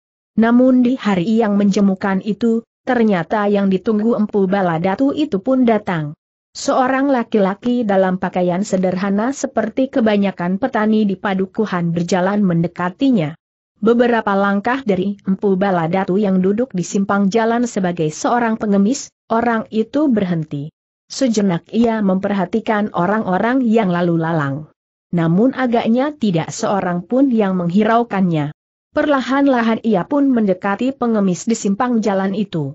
Sambil berhenti beberapa tapak ia berdesis, selamat datang di Mahihit Empu Baladatu. Empu Baladatu mengerutkan keningnya. Sekilas ia memandang orang itu. Namun sambil tersenyum ia pun menjawab, selamat bertemu Kilinggapati. Aku sudah jemu menunggu. Aku kira kau tidak mau keluar lagi dari sorangmu. Sepeninggal Linggadadi, maka tidak ada lagi orang yang menghiraukan orang lain di daerah Mahibit ini. Sudah dua hari aku melihat empu di sini. Tetapi aku sedang meyakinkan, apakah yang aku lihat benar-benar empu baladatu yang perkasa itu. Empu baladatu mengerutkan keningnya. Namun kemudian katanya, terima kasih atas pujian itu. Tetapi sebenarnya lah aku ingin bertemu dengan Kelinggapati. Linggapati berdiri bersandar sebatang pohon.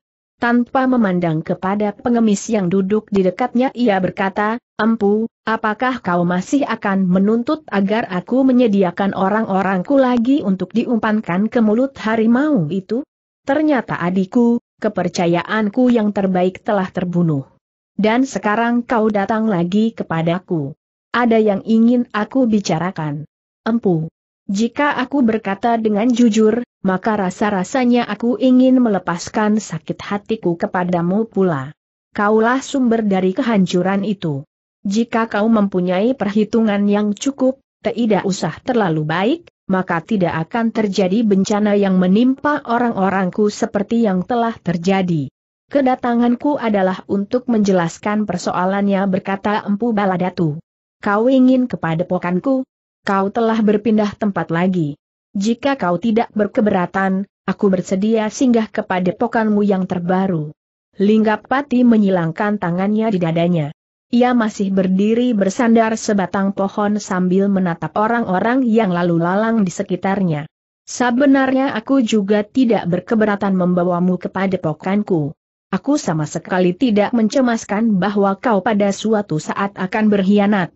Karena pengkhianatanmu tidak akan berarti apa-apa bagiku, Linggapati berhenti sejenak lalu, tetapi yang aku cemaskan adalah justru kebodohanmu. Dengan demikian maka letak padepokanku yang baru tentu tercium oleh prajurit Singasari. Linggapati potong empu baladatu, kau sudah cukup menghinaku.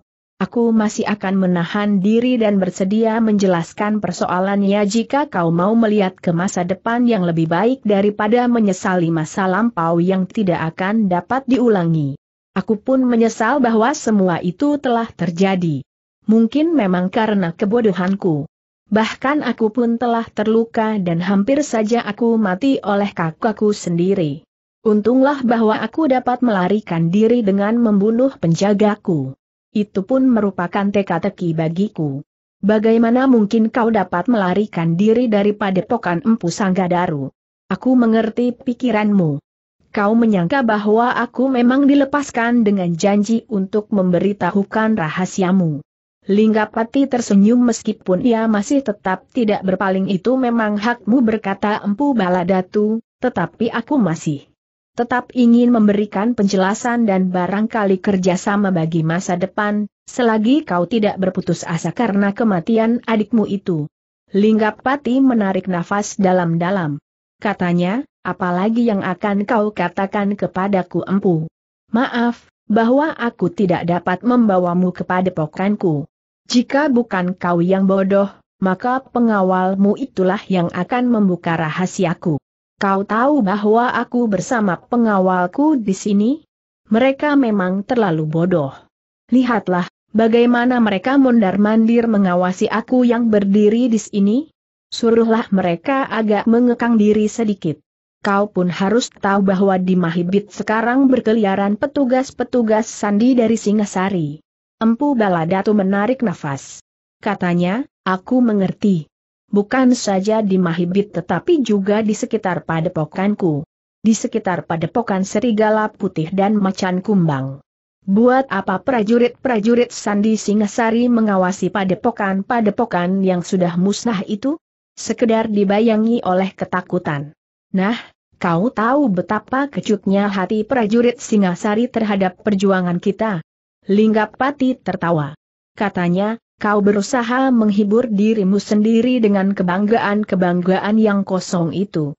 Tetapi baiklah. Tetapi aku bukan pemimpi.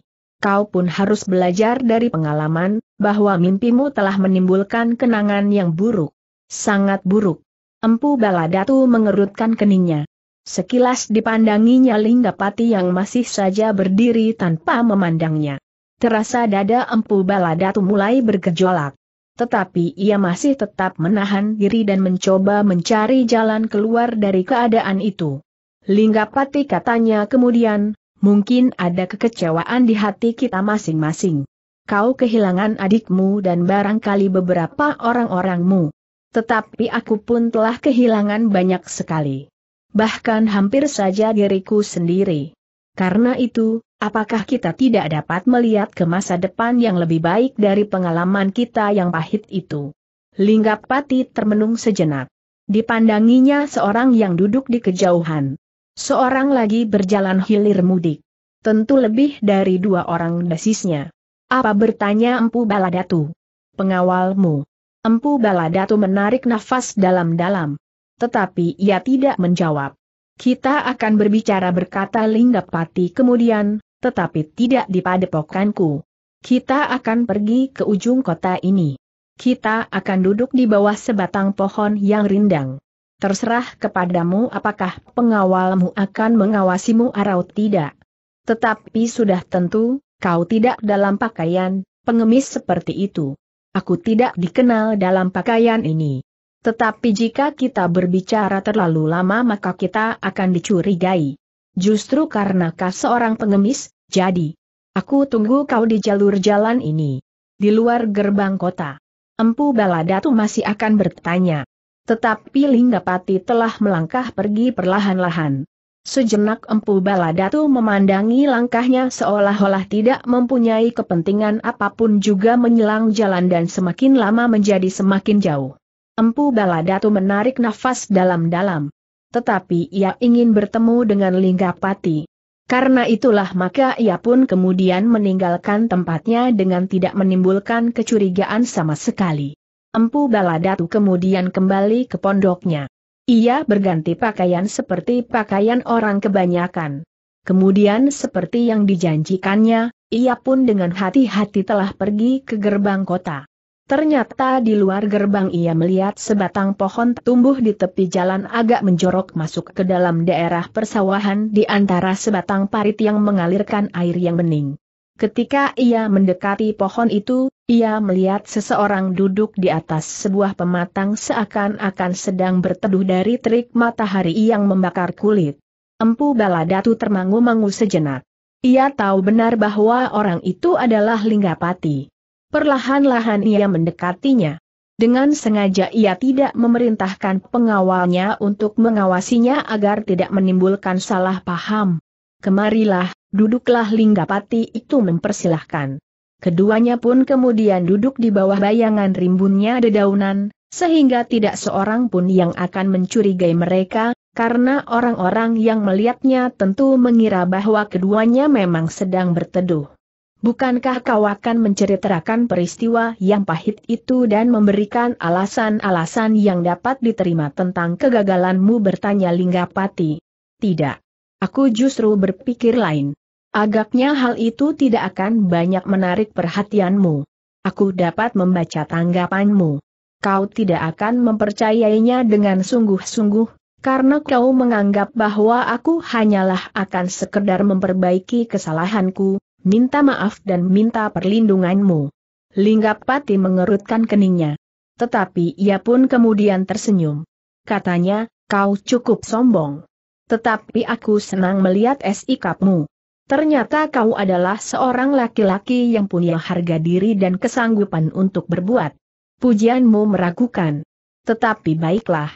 Aku mengucapkan terima kasih ia berhenti sejenak, Lalu, aku hanya akan sekedar memberitahukan kepadamu, bahwa satu hal yang tidak kita perhitungkan saat itu adalah bahwa di padepokan Kakang Sanggadaru terdapat sekelompok prajurit yang menyamar sebagai cantrik di padepokan itu.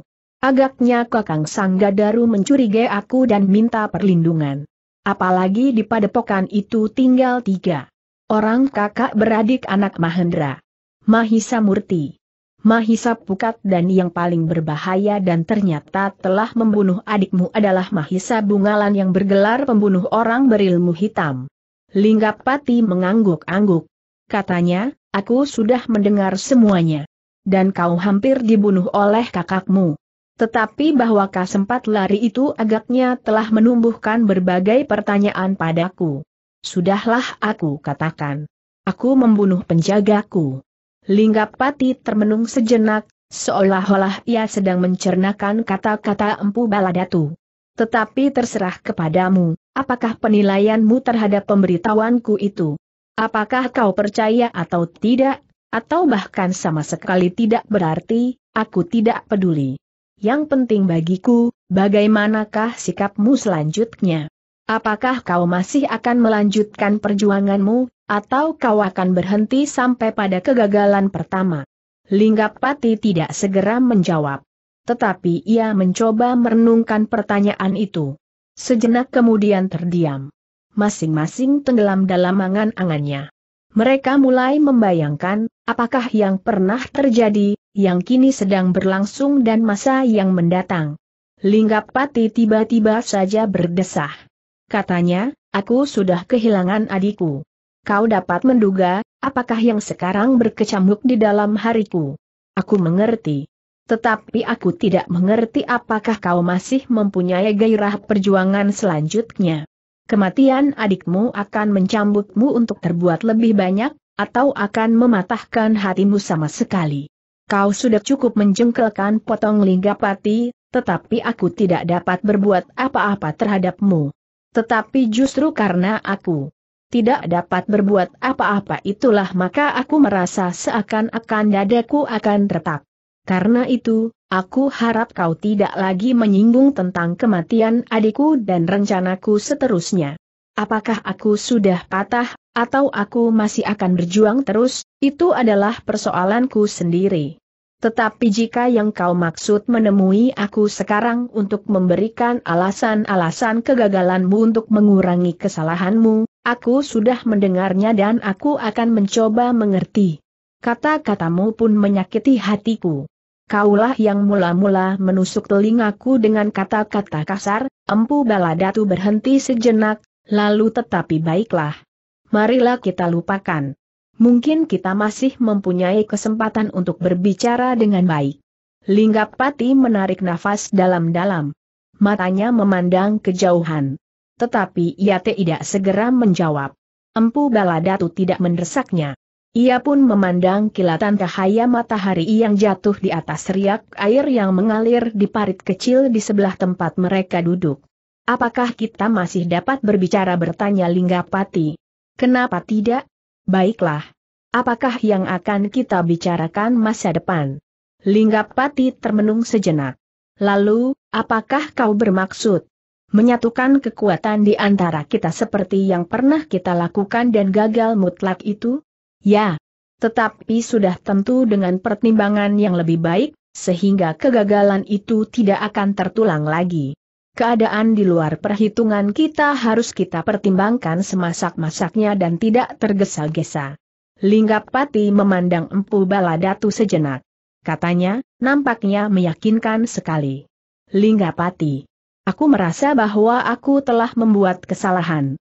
Karena itu pada masa mendalang, kita akan membicarakan setiap langkah dengan masak. Aku sadar, bahwa yang kita hadapi adalah kekuatan raksasa yang sulit digoyahkan. Apalagi jika kita berbuat sendiri-sendiri. Linggapati mengangguk-angguk. Jawabnya, aku mengerti. Singasari benar-benar telah mapan.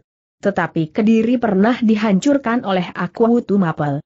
Kau harus mempelajari peristiwa itu sebaik-baiknya. Aku sudah melakukannya. Karena saat itu Kediri bergolak. Para Brahmana merasa tidak puas dan melakukan tindakan yang merugikan pemerintahan Kediri saat itu. Dan kau juga akan menumbuhkan perasaan tidak puas itu di kalangan rakyat Singasari? Linggapati tidak menjawab.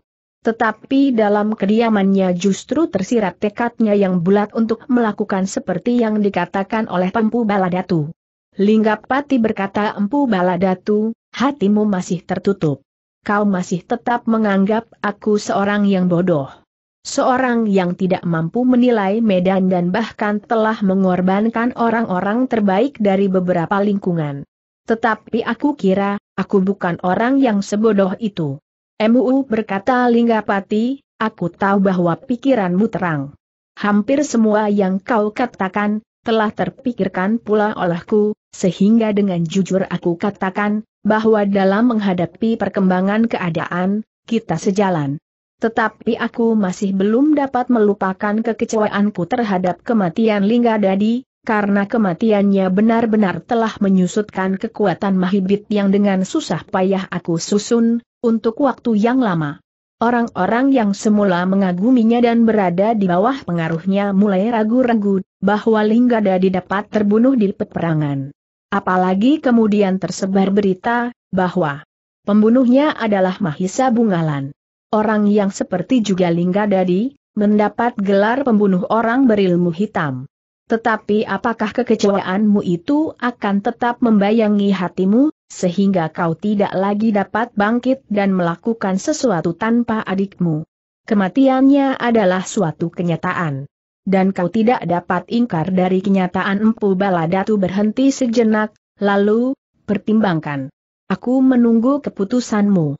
Tetapi dengan atau tidak dengan kau, aku akan berjalan terus meskipun lambat dan lama. Kau masih tetap sombong. Tetapi aku mengerti maksudmu. Kau ingin mendesak aku agar aku segera memberikan keputusan agar kau tidak mengambil keputusan sendiri, Linggapati berhenti sejenak, lalu, aku akan memikirkannya empu. Tetapi kau tentu sudah menduga, bahwa aku akan memelihara dendam di dalam hatiku atas kematian adikku.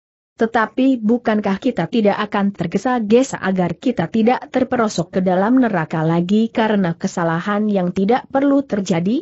kau benar, dan aku pun tidak ingin memaksa agar kau cepat mengambil keputusan meskipun keputusan itu sudah nampak pada sikapmu. Linggapati menarik nafas panjang. Dipandanginya Empu Baladatu sejenak. Namun kemudian kembali ia memandang ke kejauhan sambil bergumam kita akan bertemu lagi. Aku menunggumu di tempat ini selapan hari lagi. Aku harus datang lagi ke Mahibit dan mencarimu di tempat ini, Aku mengerti, bahwa kau masih belum percaya sepenuhnya kepadaku. Tetapi apakah kau tidak akan menerimaku di padepokanmu? Aku tidak mempunyai tempat tertentu sekarang. Padepokanku pun masih tetap dihuni oleh orang-orangku. Bahkan padepokanku yang semula dan sudah lama aku tinggalkan, kini telah aku pergunakan pula.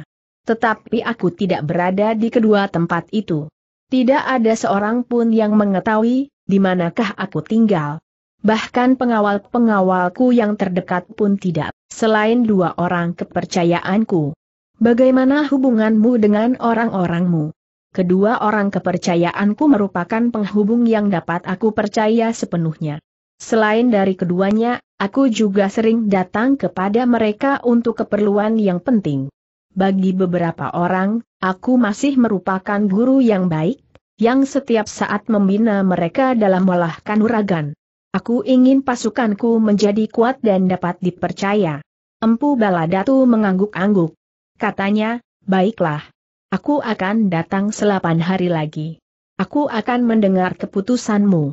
Tetapi bahwa suasana yang tidak tenang harus ditumbuhkan di Singasari dan daerah kekuasaannya, aku tidak perlu menunggumu mungkin aku akan mulai dari daerah yang agak jauh dari kota raja. Tetapi mungkin aku akan mulai dari kota raja itu sendiri, karena sebenarnya lah sumber perubahan adalah di kota raja itu sendiri. Seperti saat-saat Kinarok menguasai Kediri, maka seluruh wilayahnya dengan sendirinya akan tunduk kepada keadaan yang berlaku di kota raja. Kau cerdik juga. Tetapi sudah tentu tidak semudah itu. Namun demikian, jika kau mulai, mulailah. Aku akan membuat pertimbangan-pertimbangan tersendiri. Terserah kepadamu. Aku kembali kepada pokanku. Selapan hari lagi aku sudah akan berada di sini. Aku ingin mendengar, apakah yang akan kau lakukan kemudian. Linggapati tidak menyaut. Ketika Empu Baladatu kemudian berdiri Linggapati masih tetap duduk di tempatnya. Aku minta diri berkata Empu Baladatu. Linggapati mengangguk. Katanya, mudah-mudahan kita dapat menemukan persesuaian betapa kekecewaan mencengkam hatiku karena kematian Linggadadi. Empu Baladatu pun kemudian meninggalkan tempat itu. Ketika ia berpaling maka dilihatnya Linggapati masih duduk di tempatnya. Ia masih dicengkam oleh kekecewaan desis Empu Baladatu. Tetapi Empu Baladatu dapat mengerti perasaan Linggapati yang seakan-akan menjadi retak karena kehilangan adiknya. Ternyata Empu Baladatu tidak tinggal di Mahibit lebih lama lagi. Ketika ia sampai di Pondok Kia, maka ia pun segera mempersiapkan diri untuk kembali kepada pokannya sendiri. Apakah kita akan berangkat sekarang bertanya seorang pengawalnya. Bagi kita, sekarang atau besok tidak ada bedanya. Pengawalnya tidak bertanya lagi. Sebenarnya lah bagi mereka waktu tidak banyak mempengaruhi. Seandainya mereka harus bermalam beberapa malam sekalipun di perjalanan, mereka sama sekali tidak akan cemas. Demikianlah setelah memberikan imbalan kepada pemilik rumah yang ditempati oleh Empu Baladatu dan para pengawalnya, agar tidak kecewa dan banyak bercerita tentang mereka, maka Empu Baladatu pun segera meninggalkan Mahibit. Apakah kita akan kembali singgah di padepokan serigala putih dan macan kumbang bertanya pengawalnya. Tidak sekarang. Jika aku kelak kembali ke Mahibit, barulah aku akan singgah di kedua padepokan itu. Sekarang waktunya masih kurang tepat.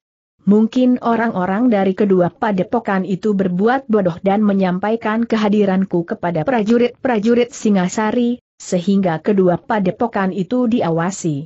Pengawalnya mengangguk-angguk. Seperti yang sudah aku katakan.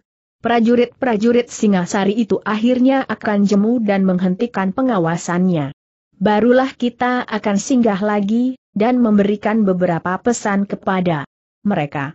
Jika perlu, aku dapat menakut-nakuti mereka dengan beberapa macam cara. Demikianlah maka Empu Baladatu dan pengawalnya berpacu langsung kembali ke padepokan mereka, meskipun mereka harus bermalam di perjalanan. Di tepi hutan yang tidak begitu lebat, mereka mencari tempat yang baik untuk beristirahat mereka mengikat kuda mereka di tempat yang berumput, sementara mereka menyiapkan tempat untuk berbaring. Seperti biasanya, bergantian mereka berjaga-jaga. Mungkin ada binatang buas yang mendekati, tetapi mungkin juga ada sekelompok orang yang tidak sengaja menghampiri mereka. Tetapi semalam suntuk mereka tidak menemui kesulitan sama sekali. Menjelang fajar mereka pun telah bersiap-siap. Karena mereka tidak membuat perapian, maka mereka minum air langsung dari sebuah belik di bawah sebatang pohon preh yang besar. Terasa air itu sangat dingin. Tetapi karena mereka merasa haus, maka seteguk air itu rasa-rasanya membuat tubuh mereka menjadi segar. Kita akan mencari makan di sepanjang perjalanan berkata Empu Baladatu. Demikianlah, maka mereka pun segera melanjutkan perjalanan kembali ke padepokan sendiri. Dalam pada itu orang-orang dari padepokan serigala putih dan macan kumbang masih saja dicengkam oleh kebingungan. Apakah yang sebaiknya mereka lakukan? Mereka merasa bahwa mereka telah tidak mempunyai kekuatan lagi untuk berbuat sesuatu. Kegagalan serangan mereka pada padepokan Empu Sanggadaru membuat mereka seakan-akan lumpuh sama sekali bukan saja kekuatan pasukan mereka, tetapi juga hati mereka bagaikan telah patah. Apalagi karena sikap para prajurit Singasari yang justru di luar dugaan mereka. Para prajurit itu tidak mendera mereka dengan rotan, dan menghukum picis di perapatan tetapi justru mereka mendapat kesempatan untuk kembali ke padepokan dan mulai dengan kehidupan wajar. Meskipun mereka merasa kekurangan walaupun mereka sudah bekerja berat, tetapi rasa-rasanya hati mereka menjadi semakin tentram. Dalam keadaan yang demikian itulah Pempu Baladatu datang dan mulai mengguncang padepokan itu dengan cita-citanya yang melambung setinggi awan di langit. Tetapi yang dilandasi dengan sikap yang salah, karena baginya segala care akan dipergunakan untuk mencapai maksudnya. Benar atau salah? Kita tidak akan dapat memilih salah seorang dari kelompok serigala putih mengeluh di antara mereka. Ya, kita tidak dapat memilih. Jika kita menentang kehendak Empu Baladatu maka akibatnya akan sangat parah bagi kita. Kawan-kawannya merenung sejenak. Lalu tiba-tiba saja salah seorang bertanya, Bagaimana dengan orang-orang macan kumbang? Yang lain terdiam. Meskipun mereka telah bekerja bersama dalam beberapa hal di bawah pimpinan Empu Baladatu, namun rasa-rasanya masih saja ada jurang pemisah di antara mereka. Masih ada satu pilihan berkata seorang yang sudah separuh baya, kita melaporkannya kepada prajurit Singasari. Kita menyerahkan semuanya kepada mereka, dan kita mohon untuk mendapatkan perlindungan. Yang lain mengangguk-angguk. Tetapi salah seorang dari mereka bertanya, kita memang dapat mempercayakan keselamatan kita kepada para prajurit Singasari. Tetapi sampai kapan mereka akan melindungi kita? Pada saatnya mereka akan melepaskan kita. Mungkin sebulan, mungkin setahun. Apakah kita percaya bahwa dendam Pubaladatu terhadap para prajurit Singasari atas kegagalannya itu akan padam dalam satu dua tahun? Beberapa orang di antara mereka saling berpandangan. Salah seorang tiba-tiba saja berdesis, satu atau dua tahun mendatang, Empu Baladatu akan datang dan menumpas kita semua dengan anak-anak kita. Kita akan kehilangan kesempatan untuk menyambung nama kita, dan riwayat kita pun akan terputus karenanya. Sejenak mereka pun terdiam. Mereka dihadapkan kepada pilihan yang sulit. Seakan-akan apa yang mereka lakukan semuanya serba salah. Namun tiba-tiba salah seorang yang mereka anggap orang yang mereka segani berkata, bagiku, apa pun yang akan terjadi, aku lebih senang pasrah kepada prajurit Singasari. Seandainya kelak kita akan musnah sekalipun, rasa-rasanya aku tidak berkeberatan. Beberapa orang menjadi tegang. Namun salah seorang dari mereka menyambung, aku sependapat. Kita masih belum yakin apakah Empu Baladatu masih akan kembali. Ia tentu akan kembali desis yang lain. Biarlah ia kembali, betapapun besar dendamnya, maka ia tentu akan lebih mementingkan perjuangannya daripada membunuh kita yang sudah tidak akan dapat diharapkan lagi. Jika ia mengancam itu, tentu ia hanya sekedar menakut-nakuti kita, agar kita tetap bersedia menyumbangkan beberapa puluh nyawa bagi keinginannya kelak kita masih harus mengorbankan seseorang di setiap bulan, saat purnama naik. Meskipun kita disebut golongan hitam pula, tetapi kita tidak pernah melakukannya sebelumnya. Aku sependapat, teriak seorang yang masih terhitung muda yang berdiri di belakang kawan-kawannya. Yang lain berpaling. Namun agaknya suaranya cukup menyentuh hati beberapa orang yang lain, sehingga hampir bersamaan beberapa orang berkata, aku sependapat, sebaiknya, kita melaporkannya saja kepada prajurit Singasari. Nah jika demikian, siapakah yang akan pergi ke Singasari? Tidak usah ke Singasari sahut yang lain, beberapa orang di antara kita akan pergi kepada Pokan Empu Sanggadaru. Di sana tentu masih ada sekelompok prajurit Singasari yang bertugas. Biarlah mereka yang melaporkannya kepada pimpinan prajurit di Singasari. Yang lain mengangguk-angguk. Agaknya memang tidak ada jalan yang lebih baik yang dapat mereka tempuh selain minta perlindungan kepada prajurit Singasari. Demikianlah, maka mereka pun telah memilih, siapkah yang akan pergi kepada Pokan Empu Sanggadaru, untuk menyampaikan persoalan mereka kepada para prajurit.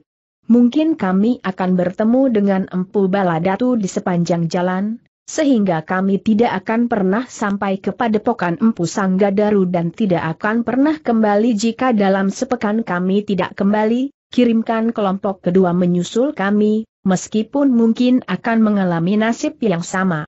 Tetapi kalian dapat berusaha mengirim jumlah yang lebih besar, berkata pemimpin kelompok yang akan pergi kepada Pokan Empu Sanggadaru. Sekelompok kecil yang dipilih di antara orang-orang serigala putih dan berjumlah empat orang pun segera mempersiapkan diri meskipun mereka tidak mempersiapkan kelompok kecil itu untuk bertempur, namun mereka merasa perlu untuk membawa senjata. Jika terpaksa kami pun harus membela diri terhadap siapa pun juga berkata pemimpin kelompok itu. Setelah semua persiapan selesai, maka berangkatlah keempat orang itu diiringi oleh debar jantung setiap orang di dalam padepokan yang sudah lumpuh itu. Mereka memandang keempat ekor kuda yang berpacu meninggalkan regol padepokan sampai hilang di tikungan. Mudah-mudahan mereka sampai ke tujuan dan kembali dengan selamat desis salah seorang dari mereka yang terdiri di regol. Kita semua mengharapkannya, sahut yang lain. Demikianlah keempat orang itu berpacu dengan kecepatan yang tinggi. Mereka ingin segera mencapai sasaran.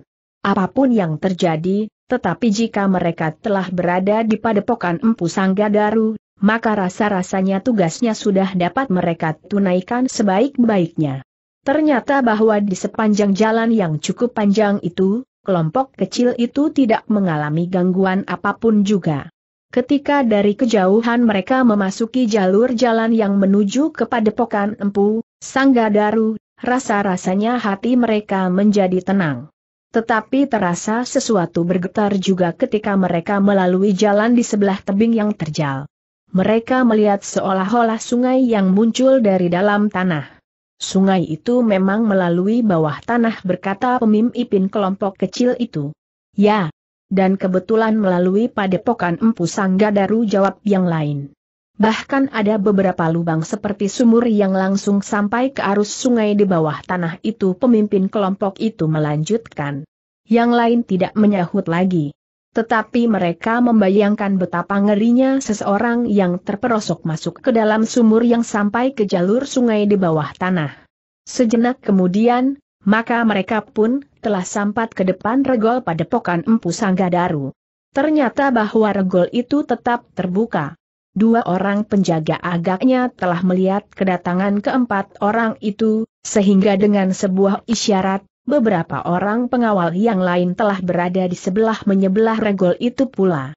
Tetapi karena keempat orang berkuda itu tidak menunjukkan gejala-gejala yang mencurigakan, maka para penjaga itu pun menerima mereka dengan wajar meskipun dengan penuh kewaspadaan. Siapkah kalian bertanya penjaga regol? Kami adalah orang-orang dari Padepokan Serigala Putih jawab pemimpin kelompok itu. Penjaga itu mengerutkan keningnya. Tetapi ia pun tahu bahwa orang-orang serigala putih sudah tidak berbahaya lagi setelah kekuatan mereka yang terbesar dihancurkan hampir mutlak. Keempat orang yang sudah turun dari kudanya itu pun kemudian berjalan mendekat. Pemimpinnya berkata pula kami ingin menghadap pimpinan prajurit Singasari yang berada di padepokan ini. Para penjaga regol dan para pengawal yang telah berada di depan regol itu termangu-mangu sejenak. Salah seorang pengawal itu pun bertanya apakah keperluanmu? Kami mohon perlindungan, perlindungan? Kenapa? Sebenarnya lah bahwa kami sudah tidak mempunyai kekuatan yang berarti. Semuanya akan aku sampaikan kepada pemimpin prajurit Singasari. Beberapa orang pengawal saling berpandangan. Namun salah seorang berkata, baiklah, marilah naik ke pendapa aku akan menyampaikannya kepada pemimpin prajurit Singasari. Keempat orang itu pun kemudian dibawa masuk ke halaman padepokan yang luas. Tetapi halaman itu tidak lagi sepi dan seolah-olah diselubungi oleh rahasia yang tidak banyak diketahui orang. Kini halaman itu nampak lebih ramai. Apalagi karena beberapa orang prajurit ada di padepokan itu. Bahkan bukan saja para prajurit dan para cantrik, tetapi bergiliran para pengawal dari padepokan di sekitarnya yang berada di bawah pengaruh padepokan itu pun berada di halaman itu pula. Ternyata pemimpin prajurit Simgasari tidak berkeberatan untuk menerima mereka. Dengan terus terang, keempat orang itu pun menceritakan tugas mereka untuk menghadap pemimpin prajurit Singasari itu. Mereka menceritakan bahwa orang-orang di padepokannya sedang dicengkam oleh kecemasan, justru karena munculnya Empu Baladatu. Empu Baladatu pemimpin prajurit Singasari itu bergumam, menarik sekali. Tetapi agaknya Empu Sanggadaru baik juga untuk mendengarnya. Orang-orang serigala putih itu sama sekali, tidak berkeberatan. Pemimpin kelompok kecil itu pun berkata, kebetulan sekali jika Empu Sanggadaru sempat mengetahui, bahwa adiknya yang melarikan diri itu ternyata telah mulai lagi dengan kegiatannya yang menebarkan.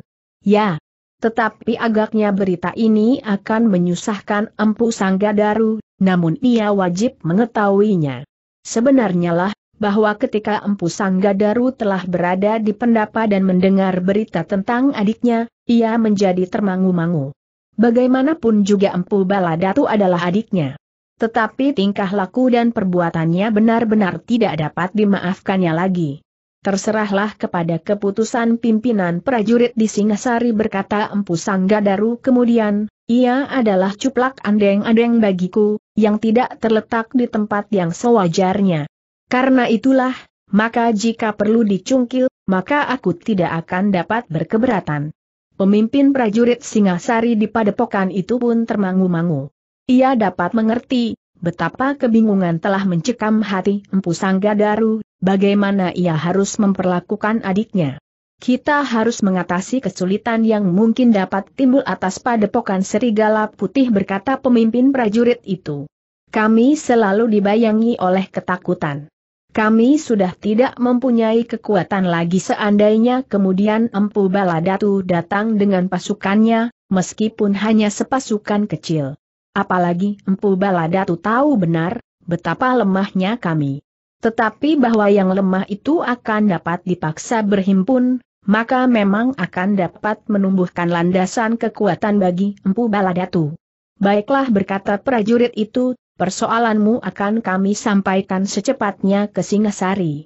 Secepatnya pula Singasari akan mengambil keputusan bagi padepokanmu. Terima kasih jawab pemimpin kelompok kecil dari padepokan serigala putih itu, kami menunggu.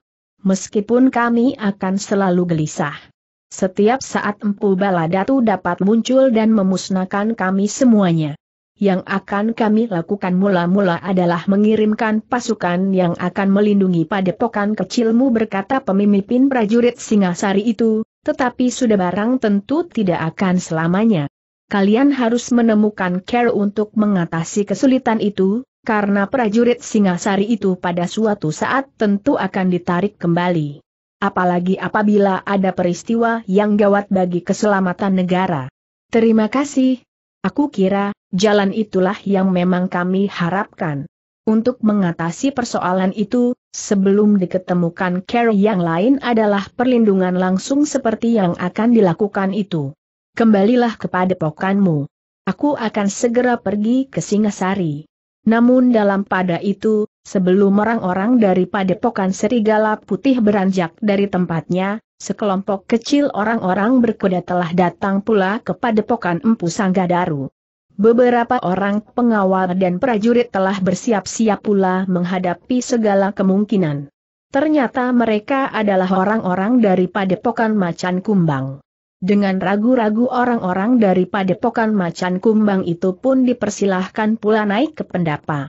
Bagaimanapun juga kehadiran orang-orang serigala putih telah membuat mereka menjadi berdebar-debar. Demikian pula orang-orang serigala putih menjadi gelisah pula. Mereka belum tahu apakah maksud kedatangan orang-orang dari padepokan macan kumbang itu. Apakah sebabnya kalian datang ke padepokan ini bertanya Empu Sanggadaru. Orang-orang yang baru datang itu ragu-ragu. Tetapi Empu Sanggadaru telah mendesaknya, katakan. Siapa pun yang ada di pendapa ini. Aku tahu, bahwa gerombolan serigala putih dan macan kumbang sejak waktu yang lama tidak dapat dipersatukan. Meskipun kalian telah bekerja bersama di bawah pengaruh Empu Baladatu, namun dalam keadaan yang lain, kalian masih tetap saling mencurigai. Orang-orang dan macan kumbang itu menjadi semakin bimbang namun akhirnya pemimpin kelompok kecil itu memutuskan untuk mengatakan saja persoalan mereka. Ketika mereka mengemukakan persoalan yang telah terjadi, sehubungan dengan kehadiran Anpu Baladatu, maka orang-orang dari padepokan serigala putih menarik nafas panjang. Ternyata orang-orang dari gerombolan macan kumbang itu menghadapi persoalan yang sama. Empu Sanggadaru mengangguk-angguk katanya, ketahuilah kisanak dari padepokan macan kumbang. Saudara-saudara kita dari padepokan serigala putih yang datang beberapa saat lebih dahulu itu pun mempunyai persoalan yang serupa. Mereka juga telah digelisahkan oleh munculnya baladatu di padepokan mereka, sehingga mereka memerlukan perlindungan dari prajurit Singasari. Kedua kelompok yang saling menyegani itu hanya dapat saling berpandangan sejenak. Namun mereka pun kemudian menundukkan kepala mereka dalam-dalam. Jawaban yang kemudian diberikan oleh pemimpin prajurit Singasari di padepokan Empu Sanggadaru itu tidak menyimpang dari jawaban yang juga diberikan kepada gerombolan serigala putih. Secepatnya prajurit Singasari akan mengirimkan sepasukan prajurit yang akan melindungi padepokan itu dari kemungkinan yang buruk, apabila Empu Baladatu akan mempergunakan kekerasan. Tetapi seperti yang sudah kami katakan, bahwa pasukan Singasari itu terbatas sekali waktunya. Karena itu, maka kalian pun harus mencari pemecahan, cara yang sebaik-baiknya untuk melindungi diri sendiri. Orang-orang dari padepokan serigala putih dan macan kumbang itu hanya dapat mengangguk-angguk saja meskipun mereka sama sekali belum mempunyai gambaran, care yang manakah yang akan mereka tempuh. Demikianlah setelah pemimpin prajurit Singasari dan Empu Sanggadaru memberikan beberapa pesan, maka kedua kelompok itu pun minta diri. Namun meskipun mereka meninggalkan regol padepokan itu bersama-sama, tetapi ternyata bahwa mereka tidak bersama-sama untuk seterusnya. Kelompok macan kumbang telah memperlambat kuda mereka, sehingga kelompok serigala putih telah mendahuluinya. Ternyata bahwa kedua kelompok itu masih belum dapat bekerja bersama sebaik-baiknya. Sepeninggal kedua kelompok itu, maka pemimpin prajurit Singasari di Padepokan Empu Sanggadaru itu pun segera menunjuk beberapa orang yang akan menyampaikan laporan tentang munculnya Empu Baladatu di sekitar Padepokan Serigala Putih dan Macan Kumbang. Ia sendirilah yang akan memimpin kelompok kecil itu. Pagi-pagi benar di hari berikutnya, maka sekelompok kecil prajurit Singasari itu pun telah berpacu ke kota raja. Mereka menganggap munculnya Empu Baladatu bukannya soal yang dapat diabaikan. Jika Empu Baladatu belum merasa pulih dan memiliki kekuatan yang cukup, ia tidak akan memancing perhatian SI apa pun juga. Ternyata bahwa laporan prajurit itu pun mendapat perhatian yang cukup bersungguh-sungguh. Para pemimpin prajurit Singasari menganggap bahwa hal itu tidak dapat diterima sepintas lalu. Karena itulah, maka mereka pun sependapat untuk mengambil langkah sementara yang cepat. Dalam waktu singkat Singasari telah menyiapkan dua pasukan kecil yang akan dikirim kepada Pokan Serigala Putih dan kepada Pokan Macan Kumbang. Mereka untuk sementara akan ditempatkan di kedua padepokan itu di bawah pimpinan seorang senapati yang mumpuni, karena Singasari sadar, bahwa yang harus mereka perhatikan adalah Empu Baladatu dan Linggapati dan Mahibit. Biarlah anak-anak Mahendra yang berada di padepokan Empu Sanggadaru ikut bersama mereka berkata Mahisa Agni, dengan demikian maka mereka akan mendapat pengalaman yang lebih luas. Jika Mahisa Bungalan berada di padepokan Serigala Putih, biarlah Mahisa Murt dan Mahisa Pukat berada di padepokan Macan Kumbang atau sebaliknya. Aku kelak yang akan memberitahukan kepada ayahnya. Agaknya para pemimpin prajurit dari kedua pasukan itu tidak menentangnya, bahkan mereka menerima dengan senang hati, karena mereka sudah mengetahui kemampuan ketiga anak muda itu. Prajurit Singasari tidak menunda lebih lama lagi. Mereka segera bersiap-siap. Mereka membawa selain senjata, juga perlengkapan-perlengkapan yang lain, karena mereka mengetahui bahwa kedua padepokan itu adalah padepokan yang sebenarnya miskin tanpa melakukan pekerjaan yang menentang ketertiban, maka mereka sulit untuk mencukupi kebutuhan mereka sehari-hari. Tetapi di saat-saat terakhir mereka harus bekerja keras, karena mereka sadar bahwa jika mereka melakukan kejahatan, maka mereka akan mengalami kesulitan yang semakin parah. Ternyata pasukan itu tidak menunggu fajar. Justru mereka meninggalkan kota raja saat matahari mulai terbenam. Dengan demikian maka tidak banyak orang yang melihat iring-iringan itu, sehingga tidak banyak pula orang yang digelisahkan karenanya. Iring-iringan pasukan akan dapat menumbuhkan berbagai pertanyaan, karena orang-orang di kota raja menganggap bahwa keadaan Singasari adalah tenang dan tenteram. Pasukan itu tidak langsung menuju ke padepokan serigala putih dan padepokan macan kumbang tetapi mereka singgah dahulu di padepokan Empu Sanggadaru. Karena menurut perintah para pemimpin di Singasari, padepokan Empu Sanggadaru akan merupakan pasukan induk yang memegang pimpinan dari pasukan yang ada di ketiga padepokan itu. Setelah beristirahat sehari di padepokan Empu Sanggadaru, serta menyampaikan pesan Mahisa Agni kepada Mahisa Bungalan dan kedua adiknya yang akan mengikuti kedua pasukan yang akan ditempatkan di padepokan Serigala Putih dan Macan Kumbang, maka kedua pasukan itu pun telah melanjutkan perjalanan ke tujuan masing-masing. Mahisa Bungalan berada di antara pasukan yang akan tinggal di padepokan Serigala Putih, Sedangkan Mahisa Murti dan Mahisa Pukat akan berada di antara pasukan yang menuju ke Depokan Macan Kumbang. Kedua pasukan itu menyadari tugas yang akan mereka pikul. Bukan saja tugas yang mempunyai kemungkinan yang sangat pahit, jika orang-orang Empu Baladatu atau orang-orang dari Mahibit datang ke padepokan itu, tetapi selama berada di padepokan itu, mereka pun akan berprihatin karena mereka akan tinggal di daerah yang kekurangan. Tetapi seperti pesan para pemimpin dan empu Sanggadaru, bahwa para prajurit itu tidak harus menyerah kepada keadaan. Mungkin orang-orang di padepokan itu kurang dapat menanggapi alam di sekitarnya, sehingga masih mungkin dapat digali hasil alam bagi kebutuhan mereka.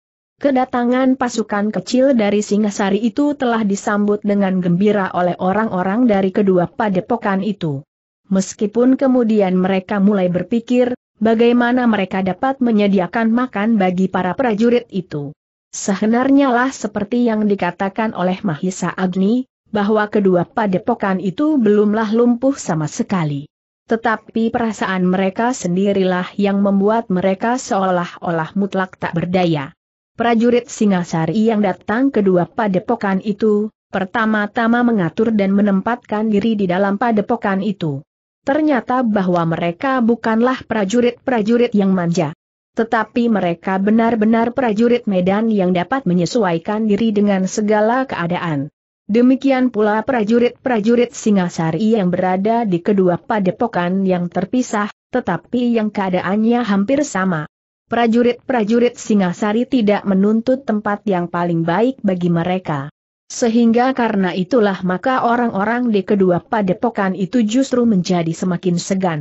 Sementara itu kedua kelompok prajurit yang berada di kedua padepokan itu pun segera mengatur kesiagaan di luar pengetahuan orang-orang dari kedua padepokan itu, karena tidak mustahil bahwa yang mereka hadapi adalah justru sebuah jebakan. Di dalam beberapa buah pondok yang terpisah, prajurit-prajurit itu mengadakan penjagaan yang terselubung, yang tidak nampak dari luar pondok mereka. Tetapi yang setiap saat dapat bergerak dan menyiapkan seluruh pasukan yang ada. Di setiap pondok yang ditempati oleh prajurit-prajurit Singasari itu selalu ada seorang yang akan tetap bangun meskipun di malam hari. Bergantian mereka akan berjaga-jaga menghadapi segala kemungkinan. Pemimpin-pemimpin mereka selalu memperingatkan, tidak mustahil bahwa pada suatu saat Empu Baladatu benar-benar datang dengan pasukan segelar sepapan. Karena itulah, maka setiap prajurit tidak terpisah dari senjata masing-masing setiap saat. Setelah mapan, maka barulah para prajurit itu sempat bertemu dan berbicara dengan para pemimpin padepokan. Menilik sikap dan pembicaraan mereka, maka agaknya mereka telah berkata dengan jujur, bahwa Empu Baladatu telah datang dan membuat padepokan-padepokan itu menjadi gelisah. Di padepokan Serigala Putih Mahisa Bungalan bersama pemimpin prajurit Singasari mulai melihat-lihat isi padepokan itu. Mereka melihat beberapa orang laki-laki yang tegap dan kuat, tetapi berwajah pucat dan selalu menyingkir jika mereka berpapasan. Tatapan mati mereka yang tunduk dan selalu menghindar memberikan kesan tersendiri kepada Mahisa Bungalan dan pemimpin prajurit Sinagasari itu. Kepada pemimpin padepokan Serigala Putih, pemimpin prajurit Singasari itu minta untuk diperkenalkan kepada setiap orang laki-laki yang ada di padepokan itu di keesokan harinya. Demikianlah, ketika matahari mulai terbit, maka setiap laki-laki di padepokan serigala pulih lelah berkumpul. Jumlah mereka masih cukup banyak desis pemimpin prajurit itu, tetapi hati mereka telah susut sebesar gelugut kolang-kaling. Mereka sama sekali sudah tidak mempunyai keberanian untuk berbuat sesuatu. Karena itulah maka mereka menjadi bingung dan kehilangan pegangan ketika Empu Baladatu memperlihatkan dirinya. Mahisa Bungalan mengangguk-angguk. Desisnya, mereka harus menyadari tentang diri mereka sendiri, bahwa mereka masih mempunyai kekuatan. Tetapi dengan hati-hati, agar tidak membangunkan mereka kembali dari mimpi buruknya, dan kembali ke jalan yang sesat itu. Pemimpin prajurit Singasari mengangguk. Ia sependapat bahwa kebangkitan jiwa orang-orang pada pokan serigala putih tidak boleh membawa mereka kembali ke jalan yang salah. Ketika setiap laki-laki sudah berkumpul maka mulailah pemimpin prajurit Singasari itu memperkenalkan diri. Ia juga memperkenalkan beberapa orang perwira yang ada di dalam pasukannya. Dan tidak ketinggalan Mahisa Bungalan pembunuh orang-orang berilmu hitam. Mungkin di antara kalian sudah mengenal berkata pemimpin prajurit Singasari itu, apalagi yang melihat sendiri, Bagaimana ia membunuh Linggadadi yang juga bergelar pembunuh orang berilmu hitam. Beberapa orang mengangkat wajahnya memperhatikan wajah Mahisa Bungalan. Namun sejenak kemudian mereka pun segera menunduk. Apalagi mereka yang benar-benar melihat, Bagaimana Mahisa Bungalan berhasil membinasakan Linggadadi yang seakan-akan tidak terkalahkan. Dengan singkat pemimpin prajurit itu menguraikan maksud kehadirannya. Atas permintaan pimpinan padepokan itu, maka prajurit Singasari itu berada di padepokan Serigala Putih. Sama sekali bukan maksud untuk menguasai padepokan ini. Kami tidak akan datang, jika kalian tidak menginginkan kami mencoba memenuhi keinginan sekalian untuk sekedar bersama-sama menghadapi kemungkinan yang dapat terjadi di padepokan ini. Laki-laki yang ada di halaman padepokan itu mengangguk-angguk kecil. Kehadiran prajurit Singasari itu memang membuat hati mereka menjadi tenang. Tetapi berkata pemimpin prajurit itu, sudah barang tentu bahwa tidak selamanya kami dapat berada di es ini. Kami hanya akan melindungi kalian selama kalian masih belum mampu melindungi diri. Sendiri, wajah-wajah itu menegang sejenak, lalu, tetapi kami tidak tergesa-gesa. Pemimpin prajurit itu berbicara beberapa lama di hadapan setiap laki-laki. Tetapi ia masih belum menyinggung kemungkinan yang masih harus diperhitungkan. Bekerjalah dengan tenang kami berada di tengah-tengah kalian lakukanlah apa yang harus kalian lakukan sehari-hari. Bahkan kami akan membantu sejauh dapat kami lakukan. Kehadiran para prajurit itu, membuat orang-orang di kedua padepokan yang telah dihantui oleh Empu Baladatu itu menjadi tenang. Mereka dapat bekerja seperti tidak ada persoalan apa pun yang menggelisahkan mereka. Namun demikian mereka sadar, sehingga setiap teringat oleh mereka, maka mereka pun menjadi berdebar-debar. Prajurit-prajurit Singasari itu pada suatu saat tentu akan meninggalkan mereka kembali ke Singasari. Dalam pada itu, di hari-hari pertama prajurit Singasari itu masih tetap memisahkan diri. Mereka sekedar melihat cara hidup orang-orang di kedua padepokan itu. Mahisa Bungalan sekali-kali menemui orang-orang padepokan itu dan bertanya beberapa hal mengenai kehidupan mereka. Sementara di padepokan Macan Kumbang Mahisa Pukat dan Mahisa Murti mulai keluar dari padepokan untuk mengenal lingkungan. Jangan pergi terlalu jauh berkata pemimpin prajurit Singgasari yang menyadari bahwa keduanya masih terlalu muda. Meskipun keduanya telah menyimpan ilmu yang dapat dibanggakan di dalam diri mereka, namun daerah asing itu tetap merupakan daerah yang berbahaya.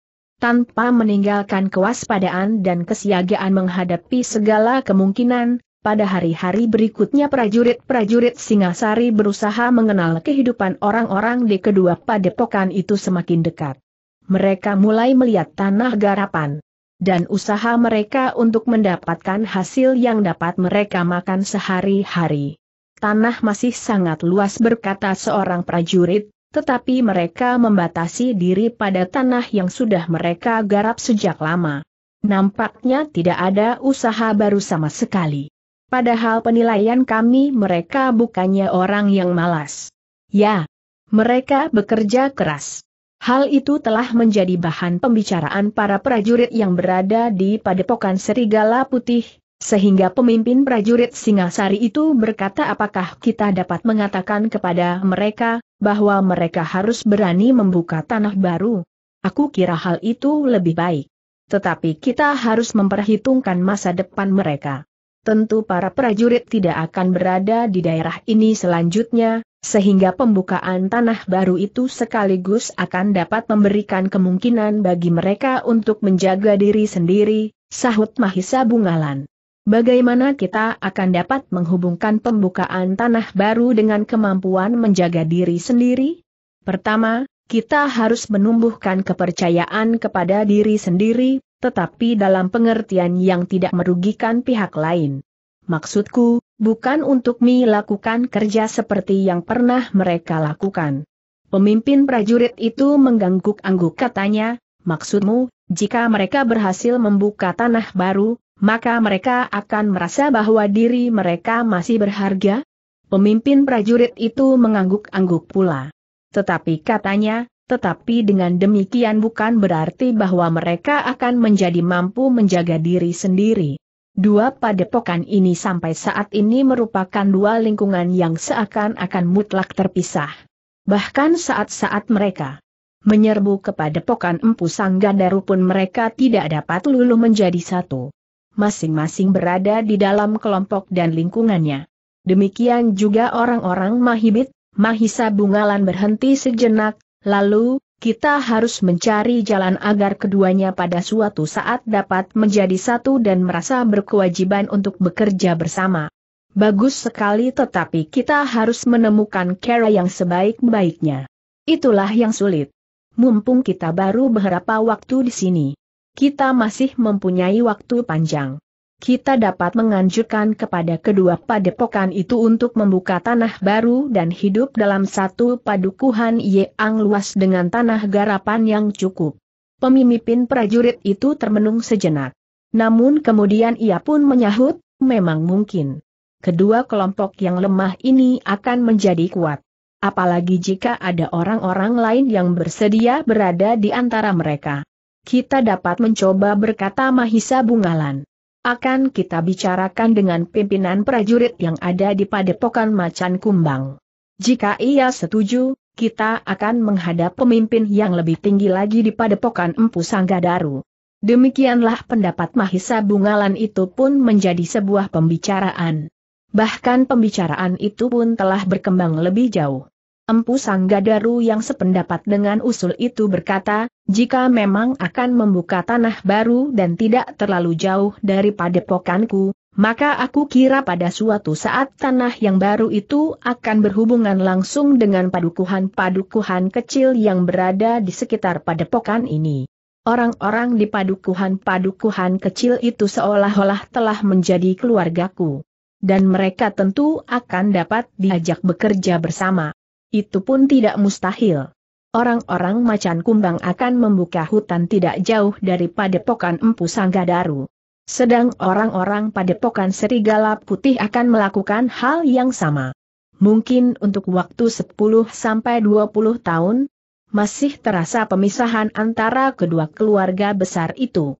Tetapi mereka akan merasa perlu untuk saling menolong jika mereka masing-masing berada dalam kesulitan. Demikian pula dengan orang-orang di padepokan dan padukuhan di sekitar padepokan ini sahut Mahisa Bungalan, lalu katanya selanjutnya, pada suatu saat mereka semua akan menganggap sebagai kiblat hidup mereka. Empu Sanggadaru mengangguk-angguk. Tetapi ia pun kemudian tersenyum sambil berkata, mudahkan demikian. Jika yang terjadi sebaliknya, mereka kemudian bersatu dan mencekik aku? Ah, tentu tidak. Orang-orang dari kedua padepokan itu kini benar-benar telah merasa dirinya lumpuh dan tidak berdaya. Kita harus berusaha membangkitkan mereka sekaligus mengarahkan jalan pikiran mereka, terutama pada tataran hidup yang berikut. Pada anak-anak yang masih remaja di antara mereka, dan pada tataran yang lebih kecil. Pembicaraan yang berlangsung di padepokan Empu Sanggadaru itu pun kemudian mencapai satu kesimpulan bahwa orang-orang dari padepokan Serigala Putih dan dari padepokan Macan Kumbang akan diusahakan untuk bersedia bekerja keras, membuka hutan baru dan hidup dalam lingkungan padukuhan biasa. Bukan lagi hidup dalam lingkungan tertutup seperti di padepokan mereka. Dengan demikian diharapkan suatu suasana yang baru sehingga dapat mempermudah pengarahan bagi pandangan hidup mereka di masa depan, terutama pada anak-anak mereka. Mudah-mudahan rencana ini dapat berjalan lancar berkata para perwira prajurit Singasari di ketiga padepokan itu. Ketika para pemimpin prajurit yang berada di padepokan Serigala Putih dan Macan Kumbang kembali ke padepokan, mereka mulai membicarakan care-care yang paling tepat untuk menyampaikan rencana mereka kepada orang-orang padepokan itu. Bagi orang-orang padepokan serigala putih, Mahisa Bungalan mulai dengan ikut serta bekerja di ladang mereka yang tidak memberikan banyak harapan. Perlahan-lahan ia mencoba menjajagi pendapat orang-orang di padepokan itu. Apakah mereka tidak menginginkan masa depan yang lebih baik? Tanah garapan yang lebih luas dan subur, sehingga penghasilan mereka cukup memberi jaminan hidup bagi keluarga mereka dalam keseluruhan. Tentu jawab orang-orang serigala putih, setiap orang tentu merindukan kehidupan yang lebih baik. Kami tidak menyembunyikan cacat dan celah kami. Kami memang tidak banyak memperhatikan sawah dan ladang di masa lampau, karena kami sering mengembara dan memungut saja kebutuhan kami di daerah pengembaraan kami. Tetapi bukanlah kalian tidak ingin kembali dalam tata kehidupan seperti itu? Tidak, tentu tidak. Itulah sebabnya kami mohon perlindungan prajurit Singasari ketika Empu Baladatu mulai muncul kembali dan dengan demikian akan datang kemungkinan, bahwa ia akan memaksakan nafas kehidupan bagi padepokan kami seperti masa lampau kami yang suram. Pendapat itu merupakan landasan bagi Mahisa Bungalan. Perlahan-lahan ia memancing pendapat orang-orang padepokan itu seandainya mereka harus bekerja keras membuka sebuah hutan bagi padukuhan mereka yang baru, yang dapat memberikan harapan bagi masa depan. Ketika hal itu kemudian tersebar pada setiap orang di padepokan serigala putih, maka mereka pun mulai berpikir dengan sungguh-sungguh. Agaknya berbeda dengan cara yang ditempuh oleh Mahisa Bungalan dan para pemimpin prajurit di padepokan serigala puih, maka para pemimpin prajurit di padepokan macan kumbang dengan sengaja telah mengumpulkan setiap orang laki-laki. Mahisa Murti dan Mahisa Pukat masih belum dapat membantu para pemimpin prajurit dalam pembicaraan itu, karena mereka berdua masih belum mendapat kegambaran yang jelas dan kemudahan mereka masih belum memberikan kemungkinan bagi mereka untuk melakukannya seperti Mahisa Bungalan. Dengan terus terang para pemimpin prajurit di Padepokan Macan Kumbang menawarkan kemungkinan itu, sehingga pembicaraan tentang pembukaan tanah baru itu telah dibicarakan dalam pertemuan terbuka mereka. Namun ternyata bahwa orang-orang macan kumbang sependapat untuk membuka tanah baru. Tanah yang dapat memberikan harapan bagi mereka. Jika kelak tanah itu terasa menjadi sempit karena jumlah kita yang bertambah, maka masih ada kemungkinan untuk membuka tanah baru karena hutan di sekitar padepokan Empu Sanggadaru itu cukup luas. Bukan saja hutan yang sudah dapat dijinakan. Tetapi hutan yang lebat dan pekat masih terbentang seolah-olah tanpa batas berkata pemimpin prajurit Singasari. Kami bersedia sahut orang-orang macan kumbang, tetapi kami tidak mempunyai alat-alat yang cukup untuk melakukannya. Jika kalian bersedia, maka kita akan melakukannya. Aku akan mengusahakan alat-alat itu tentu kalian telah mempunyai parang dan kapak serba sedikit. Selebihnya akan kami usahakan dari Padepokan Empu Sanggadaru atau dari Singasari sama sekali.